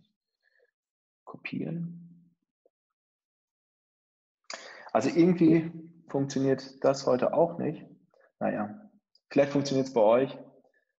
Ähm, bei mir funktioniert es gerade nicht. Normalerweise wird dann die komplette Tabelle wunderbar ähm, kopiert. Dann kann man sie nämlich eben noch in in Excel eigentlich so ein bisschen aufhübschen. Das wollte ich eigentlich sagen. Also bevor ihr so diese, diese Diagramme ähm, in die Bachelorarbeit packt, ähm, könnt ihr eigentlich am besten dieses Diagramm nach Excel kopieren und dort ein bisschen aufhübschen. Naja, gut. Ich meine, es ist ja die Tabelle, aber dann könntet ihr hier quasi noch, ja, mit ähm, zum Beispiel so uninteressante Dinge, wenn die Signifikanz nicht ähm, äh, mit in die Bachelorarbeit soll, könntet ihr eben quasi ähm, das Ganze löschen die Zeile zum Beispiel. Gut. Wundert mich jetzt gerade, dass es nicht so funktioniert. Aber ja, also was ich sagen wollte, ähm, kopiert eigentlich nicht immer direkt ähm, diese Tabellen aus Excel raus, sondern äh, aus SPSS raus, sondern kopiert sie erst in Excel, editiert sie dort und dann fügt ihr sie ein in das Dokument, weil ähm, die rohen Excel-Tabellen, äh, die rohen SPSS-Tabellen, die sind dann manchmal ein bisschen zu klobig und ähm, in der Masterarbeit, Bachelorarbeit soll man auch sehen, dass ihr verstanden habt, auf welche Kennwerte ihr euch jetzt gerade eben konzentriert. Und ähm, ja, wenn man einfach so eine SPSS-Tabelle in die Bachelorarbeit reinkopiert, in die Masterarbeit reinkopiert, macht das grundsätzlich eher nicht zum guten Eindruck. Ja, genau. So viel dazu. Das war jetzt Bivariat und ähm, Bivariat und ähm, intervallskaliert. Weiter geht's, ähm, und das ist jetzt der letzte Punkt für heute nochmal, wir sind da gerade schon reinkommen, in die Diagrammerstellung. Diagramme sind eigentlich auch ganz, ganz wesentlich für eure Bachelorarbeit, ähm, denn sie stellen eigentlich ähm, nochmal deutlicher dar, was Tabellen und einzelne statistische Kennwerte nicht so gut darstellen können. Und ich will euch da jetzt äh, gerade mal ähm, ein paar Diagramme vorstellen, die immer gerne gesehen werden in Bachelorarbeiten. Aber auch da immer mit dem Prüfer, mit der Prüferin abklären. Ich fange jetzt mal an. Ich setze euch mal hier alles wieder zurück. Ich fange mal an mit dem sogenannten Boxplot, weil der Boxplot ist auch ähm, ein sehr deskriptiver, also ein sehr beschreibender Plot, der eben auch zur Plausibilitätsprüfung eingesetzt wird. Warum? Weil man mit dem Boxplot relativ schnell Ausreißerwerte erkennt. Und Ausreißerwerte werden in der, Disku äh, in, der, in der, Statistik immer heiß diskutiert. Also soll man sie drin lassen, soll man sie entfernen?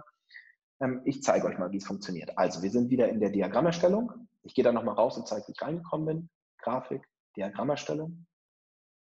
Und kann jetzt hier den Boxplot auswählen und ziehe den in mein Fenster, in mein Fenster, in dem ich jetzt mir mein, ja, meinen Plot, meine Grafik zusammenbasteln kann. Ich kann jetzt hier zum Beispiel einfach mal bei der Körpergröße auf die Y-Achse ziehen. Und dann bekomme ich einen Boxplot von der Körpergröße. Ich erkläre gleich ganz kurz, was ein Boxplot ist, aber normalerweise solltet ihr das auch bei Quanti gehabt haben. Und zwar zeigt der Boxplot jetzt, hm, dass wir ähm, der Boxplot. Der Boxplot ähm, ist eigentlich eine Box, also dieser blaue Kasten. Und dieser blaue Kasten wird getrennt von diesem horizontalen schwarzen Strich. Das sind eigentlich diese, diese Box und der, der Strich repräsentieren drei wichtige Kennzahlen. Der schwarze Strich repräsentiert den Median, also mindestens 50 Prozent sind kleiner als 1,78 und mindestens 55 Prozent sind größer als diese 1,78. In der Box sind 75 Prozent aller Daten. Das heißt, 75 ähm, Prozent der Kunden sind 1,72 bis 1,83. Jetzt mal grob geschätzt. Ja? Das Interessante hier, ich kann schon mal sehen, liegen diese Daten eigentlich im plausiblen Bereich. Und da will ich sagen, ja, eigentlich sind unsere Personen hier gerade so ein bisschen zu groß, weil eigentlich fehlen mir hier noch die 1,70er. Aber gut, ähm, so, so, kann man eben Plausibilität überprüfen. Was aber ganz interessant ist eben zur Ausreißeranalyse, wir sehen hier einen Stern. Und das heißt, ähm, dieser Stern, das sind sogenannte Ausreißer und die liegen jenseits dieser ähm, Strahlen. Diese Strahlen, ich will jetzt nicht ganz genau sagen, was es ist, oder ich kann es ganz genau sagen, was es ist. Das ist der 1,5-fache Interquartilsabstand. Der Interquartilsabstand ist diese Länge. Und diese Länge ist das 1,5-fache von dieser Länge. Naja, alles, was eben außerhalb dieser sogenannten Strahlen oder Whisker, wie man im Englischen aussagt, liegt, das sind Ausreißer. Das heißt also, wir haben eine Person, die ist, aus, die ist ein Ausreißer, die ist irgendwie 1,50 oder kleiner als 1,50. Und ich zeige euch nochmal, wie man jetzt eben schnell gucken kann, wo denn dieser Wert ist, der kleiner als 1,50 ist. Und dafür gehen wir nochmal auf Transformieren, äh, Entschuldigung, auf Daten, Fälle auswählen. Und jetzt sage ich, zeig mir die Person an mit einer Körpergröße, hier Körpergröße in Zentimeter, achso, falls Bedingung Zug trifft, mit einer Körpergröße. Ups ziehe ich hier wieder rein. Kleiner 1,60 mache ich jetzt mal. Ja? Jetzt filtert mir SPSS alle Datensätze, bei denen die Körpergröße kleiner ist als 1,60. Und ich drücke hier auf Weiter. Drücke auf OK. was ich jetzt sehe, ist, dass hier die, diejenigen Daten rausgestrichen werden, die alle größer als 1,60 sind. Und ein Datenwert muss eben hier dabei sein, wo die Person unter 1,60 ist. Und das ist jetzt dieser Wert. Die, der, äh, die Person mit der Nummer, mit der Kunden-ID 115 ist 1,58 groß. Das ist jetzt bezogen auf diesen Datensatz ein Ausreißer. Und eine Plausibilitätsanalyse würde jetzt hingehen und sagen, ist es tatsächlich ein Ausreißer? Ist dieser Wert komplett unplausibel? So, und das kann man jetzt inhaltlich diskutieren. Ich würde sagen, nein, das ist jetzt kein Ausreißer, den lassen wir genau so drin. Ja?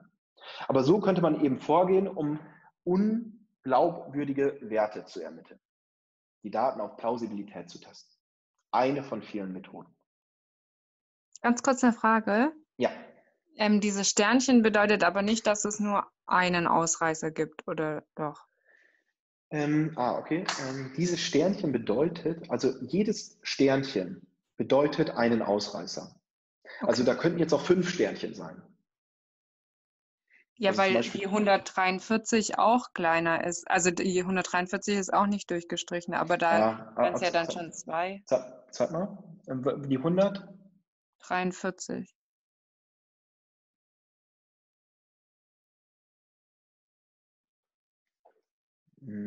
Jetzt gucken wir mal eben. Ah ja, okay, okay. Ich, ähm, jetzt gucken wir mal ganz genau nach, ob da zwei Sternchen sind, die sich überlappen. Das könnte hm. nämlich der Fall sein.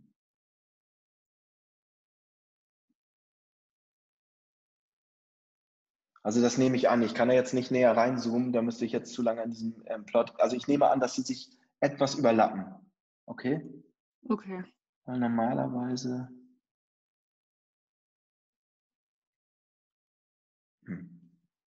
Normalerweise müsste es ähm, eben.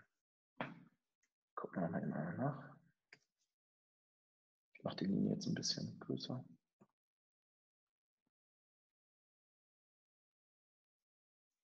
Ja, das wundert mich auch gerade. Weil der Wert müsste irgendwo hier liegen. Hm, ich probiere nochmal eben einmal was anderes. Grafik, Diagrammerstellung, also ich gehe da nochmal rein. Äh, nehme nochmal einen anderen Boxplot, der es vielleicht ein bisschen deutlicher macht, also so ein Single-Boxplot. Hm, Körpergröße. Schauen wir mal an, was der mir jetzt sagt. Äh, der gibt mir gar keine an. Ach, einen Moment mal. Ah, ja, ja. ja ich habe den Filter noch drin. Das macht jetzt gerade das Problem. Ähm, ich nehme den Filter raus. Datei, Daten, Fälle auswählen. Jetzt sage ich wieder alle Fälle. Filter auf. Gehe nochmal in die Grafik rein, Grafikerstellung. Fordere mir den gleichen Plot nochmal an mit allen Daten. Zeigt er gar keine an. Ähm, ungewöhnlich. Auch das ist wieder ungewöhnlich. Vielleicht hätten wir doch die 27er-Version nehmen sollen. Also bleibt ähm, eigentlich, ähm, steht, ist das denn bei euch auch so oder bei dir jetzt, ähm, weil du gerade nachgefragt hast, wie viele Sterne hast du denn gesehen da? Ja, bei mir ist auch eine. Hm, okay, das ist wirklich ungewöhnlich. Es müssten eigentlich zwei sein. Also bei mir, ich glaube, ich hatte von vornherein hm. aus Versehen den Single-Box-Plot ausgewählt und bei mir ja. wird auch gar kein Sternchen angezeigt. Hm. Okay. Ähm, da kann ich jetzt ad hoc keine Lösung für an. Also ich müsste jetzt ein bisschen rumprobieren. Ähm, aber mich stört das jetzt gerade wirklich, dass es nicht so ist, wie ich das jetzt vermutet habe, wie es sonst auch immer war. Ja, ich muss euch da jetzt einmal vertrösten. Ähm, ich gucke da nochmal nach ähm, und, und reiche das nochmal nach mit einer E-Mail, okay? Also ich werde wohl rausfinden, was da jetzt das Problem ist, aber damit wir jetzt nicht zu viel Zeit verlieren. Ähm, okay. Genau. Okay, ja, danke. aber gut, gut, dass es euch aufgefallen ist. Ähm, genau.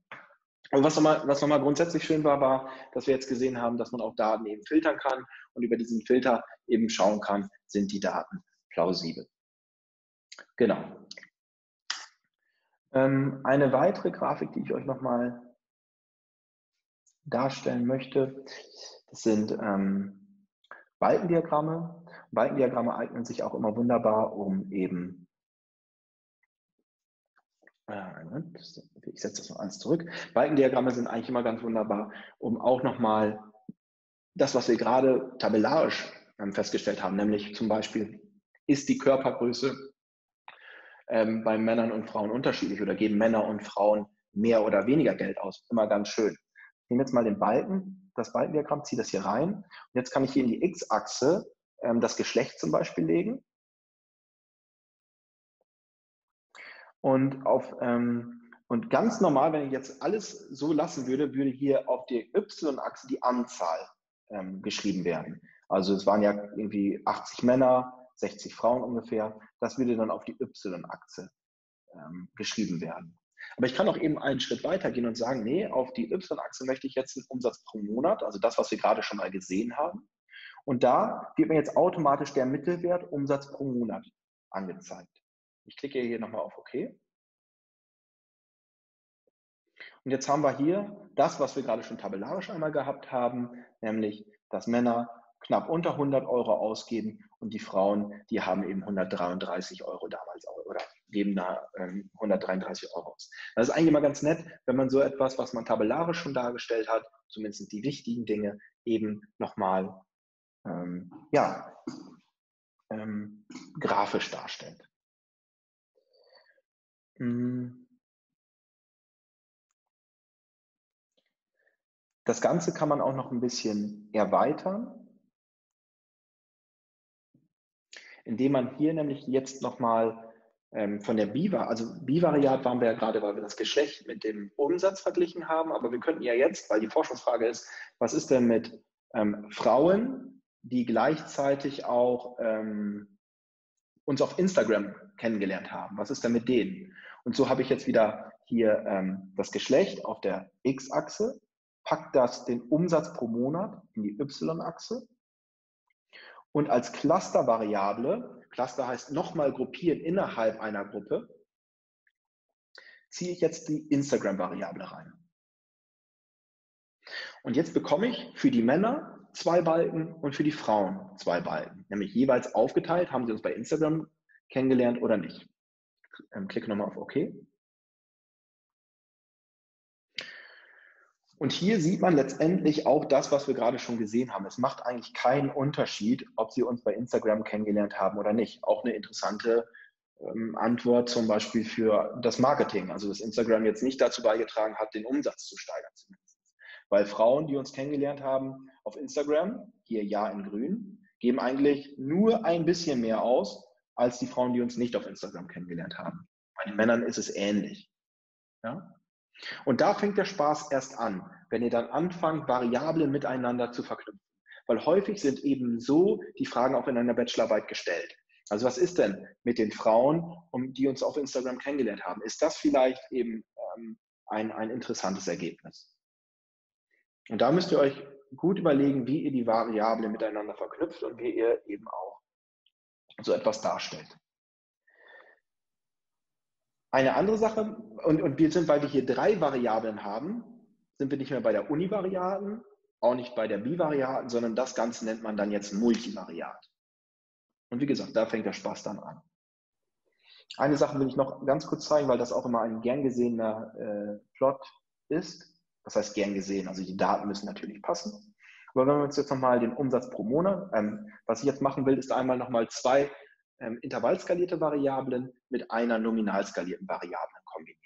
Ich setze das Ganze nochmal zurück. Intervallskalierte Variablen vergleichen wir auf einem Streudiagramm. Jetzt haben wir das gerade einmal gesehen, aber jetzt will ich nicht ähm, ein, nur beide intervallskalierte Variablen nehmen, sondern ich möchte hier ein gruppiertes Streudiagramm erstellen. Gruppiert heißt, ich kann noch eine dritte Gruppenvariable reinschmeißen. Heißt, ich nehme nochmal das Körpergewicht ich nehme nochmal äh, die Körpergröße.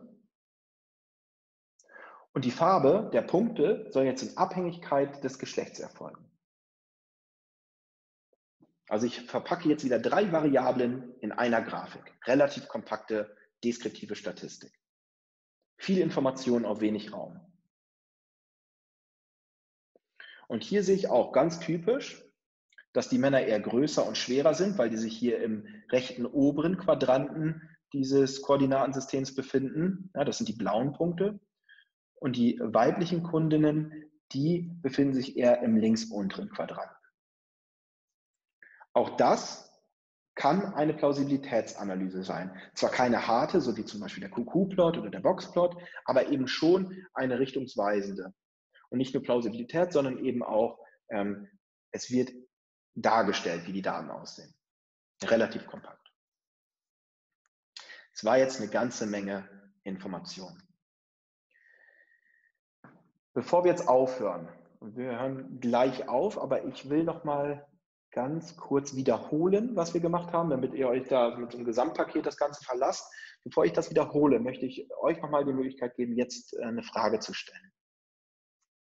Habt, habt ihr noch Fragen?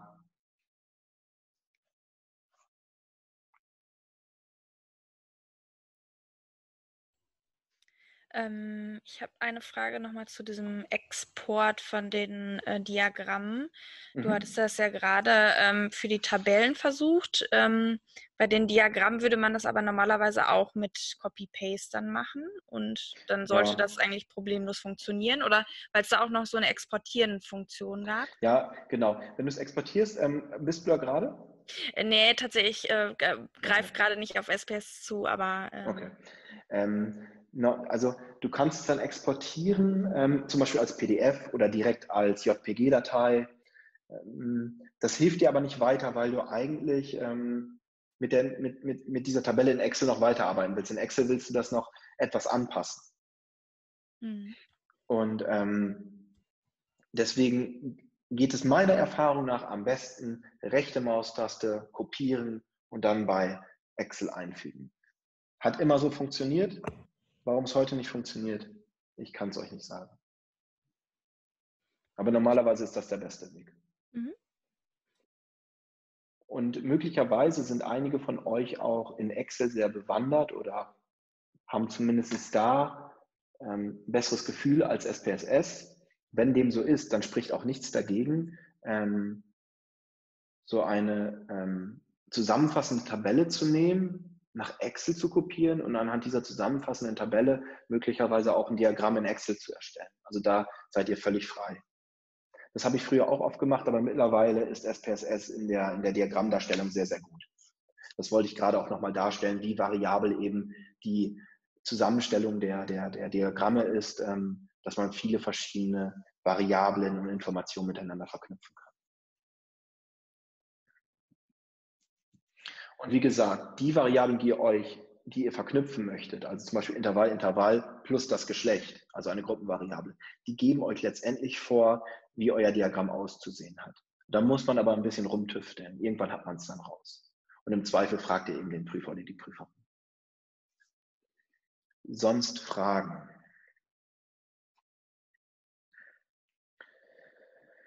Ja, ich weiß. Ähm, das war tatsächlich ähm, eine anstrengende Session. Vor allen Dingen, ähm, ja, weil sonst mehr Kommunikation da ist. Ähm, das ist aber jetzt die gegebene Situation. Ich würde mich wirklich ehrlich gesagt freuen, wenn ihr euch, ähm, also ihr, ihr, ihr solltet diesen, ähm, Dokument, äh, diesen Evaluationsbogen vom WeConnect ausfüllen. Das fände ich ganz gut, wenn ihr das eben macht. Ähm, der Link steht in der in der E-Mail. Aber vielleicht, wenn ihr mir nochmal, ähm, wenn ihr Lust und Muße habt, ich weiß, es ist Freitagnachmittag, aber wenn ihr Lust und Muße habt, schreibt mir gerne nochmal zwei, drei Dinge, die ihr gut oder die ihr schlecht fandet, weil ich habe gar kein Feedback jetzt bekommen und für mich ist es wirklich wichtig, ähm, ähm, mich da selber einzupolen. Ich hatte letztes äh, Semester gar keine Lehre und jetzt geht auch bei mir die Lehre wieder los. Also wenn ihr so freundlich seid, ähm, den WeConnect ähm, Evaluationsbogen schnell auszufüllen und wenn ihr dann noch Muße habt, dann schreibt mir gerne noch eben ein, zwei Sätze. Ich würde mich wirklich drüber freuen. Okay, bevor wir jetzt aufhören, will ich noch einmal ganz kurz zusammenfassen. Also, wenn ihr äh, eingeschlafen seid, jetzt noch eben ganz kurz wach werden, die Quintessenz. Also SPSS ist das Programm für die Sozialwissenschaften. Es gibt andere Programme wie Excel, aber SPSS hat einfach diesen großen Vorteil, dass es eben zusätzlich Metadaten speichert. Diese Metadaten, die man, wie man Variablen eben definiert hat. Das fällt bei Excel weg. Und das ist ein großes, großer Teil in den Sozialwissenschaften, insbesondere wenn ihr mit Line Survey und Umfragedaten arbeitet. SPSS ist aufgebaut in drei Fenster. Das ist erstmal ungewöhnlich. Ähm, das Datenfenster, das Ausgabefenster, das Syntaxfenster. Ähm, Im Ausgabefenster, äh, da findet ihr die Ergebnisse. Im Syntaxfenster, da ähm, arbeitet ihr mit dieser Computersprache. Das werdet ihr wahrscheinlich nur dann machen, wenn ihr eben ähm, Daten von Lime Server importiert. Und das dritte ist eben das Datenfenster. Und das Datenfenster, das ist eben so zentral. Da gibt es die Variablenansicht mit den Metadaten und es gibt die Datenansicht, da wo ihr eure Daten, die, die ihr analysieren wollt, wiederfindet. Und dann kann man in äh, SPSS ähm, Daten transformieren, also man kann sie neue berechnen, man kann eine bestehende Variable in eine andere umwandeln, zum Beispiel klassifizieren, was wir da als Beispiel genommen haben. Ähm, wir können den ganzen Datensatz aufteilen hinsichtlich einer Variable, zum Beispiel dem Geschlecht und so weiter, und können uns dann relativ schnell deskriptive Statistiken auswerten lassen. Ähm, das lässt sich für die ähm, Nominal, für die Intervall und für die Ordinaldaten machen. Also für jeden äh, Skalentyp gibt es da entsprechende Kennwerte. Und wir haben gesehen, dass SPSS ähm, Grafik mittlerweile sehr gut hinbekommt und ähm, dass man da wirklich kompakte Darstellungsweisen ähm, findet, die auch immer beim Prüfer, bei der Prüferin in der Masterarbeit gut ankommen, aber euch auch eigentlich gute Einblicke liefern. Was wir heute nicht gemacht haben, das waren so inferenzstatistische Tests. Das haben wir ganz kurz mal andiskutiert mit diesen Signifikanztests. Ähm, aber so richtig reingegangen in die Tests, wie zum Beispiel den T-Test, sind wir noch gar nicht. Zudem gibt es noch ganz viele andere ähm, Sachen wie das ähm, Auswerten von Mehrfachantworten, ähm, Regressionsanalysen und so weiter und so fort. Also da gibt es noch ein, ein, ein Riesenfeld, was wir heute nicht beackert haben. Ihr werdet wahrscheinlich in der Abschlussarbeit in die Situation kommen, dass ihr mit Methoden konfrontiert werdet, die ihr nicht kennt. In dem Fall empfehle ich euch die Methodenberatung und natürlich immer die Kommunikation mit dem Prüfer, mit der Prüfer. Ja, also ich hoffe, ich konnte euch jetzt erstmal einen Einblick geben in SPSS. Ähm, meine Empfehlung ist, arbeitet damit, probiert da was aus. Ähm, das Video werde ich zur Verfügung stellen. Genau, wenn noch Fragen sind, ihr könnt euch auch an mich wenden, aber am liebsten eben an die Methodenberatung, weil da die offizielle Stelle ist. Genau, und an dieser Stelle würde ich dann die Sitzung schließen und wünsche euch ein schönes Wochenende, ja? Prima. Ganz kurz habe ich noch eine Frage zur Evaluierung. Ähm, ich ja. finde das irgendwie nicht in der E-Mail. Nicht in der E-Mail, dann schicke ich gleich eine E-Mail rum, okay? Okay, super. Danke. Prima. Bis zum nächsten Mal. Wir sehen uns. Ciao. Dankeschön. Danke sehr.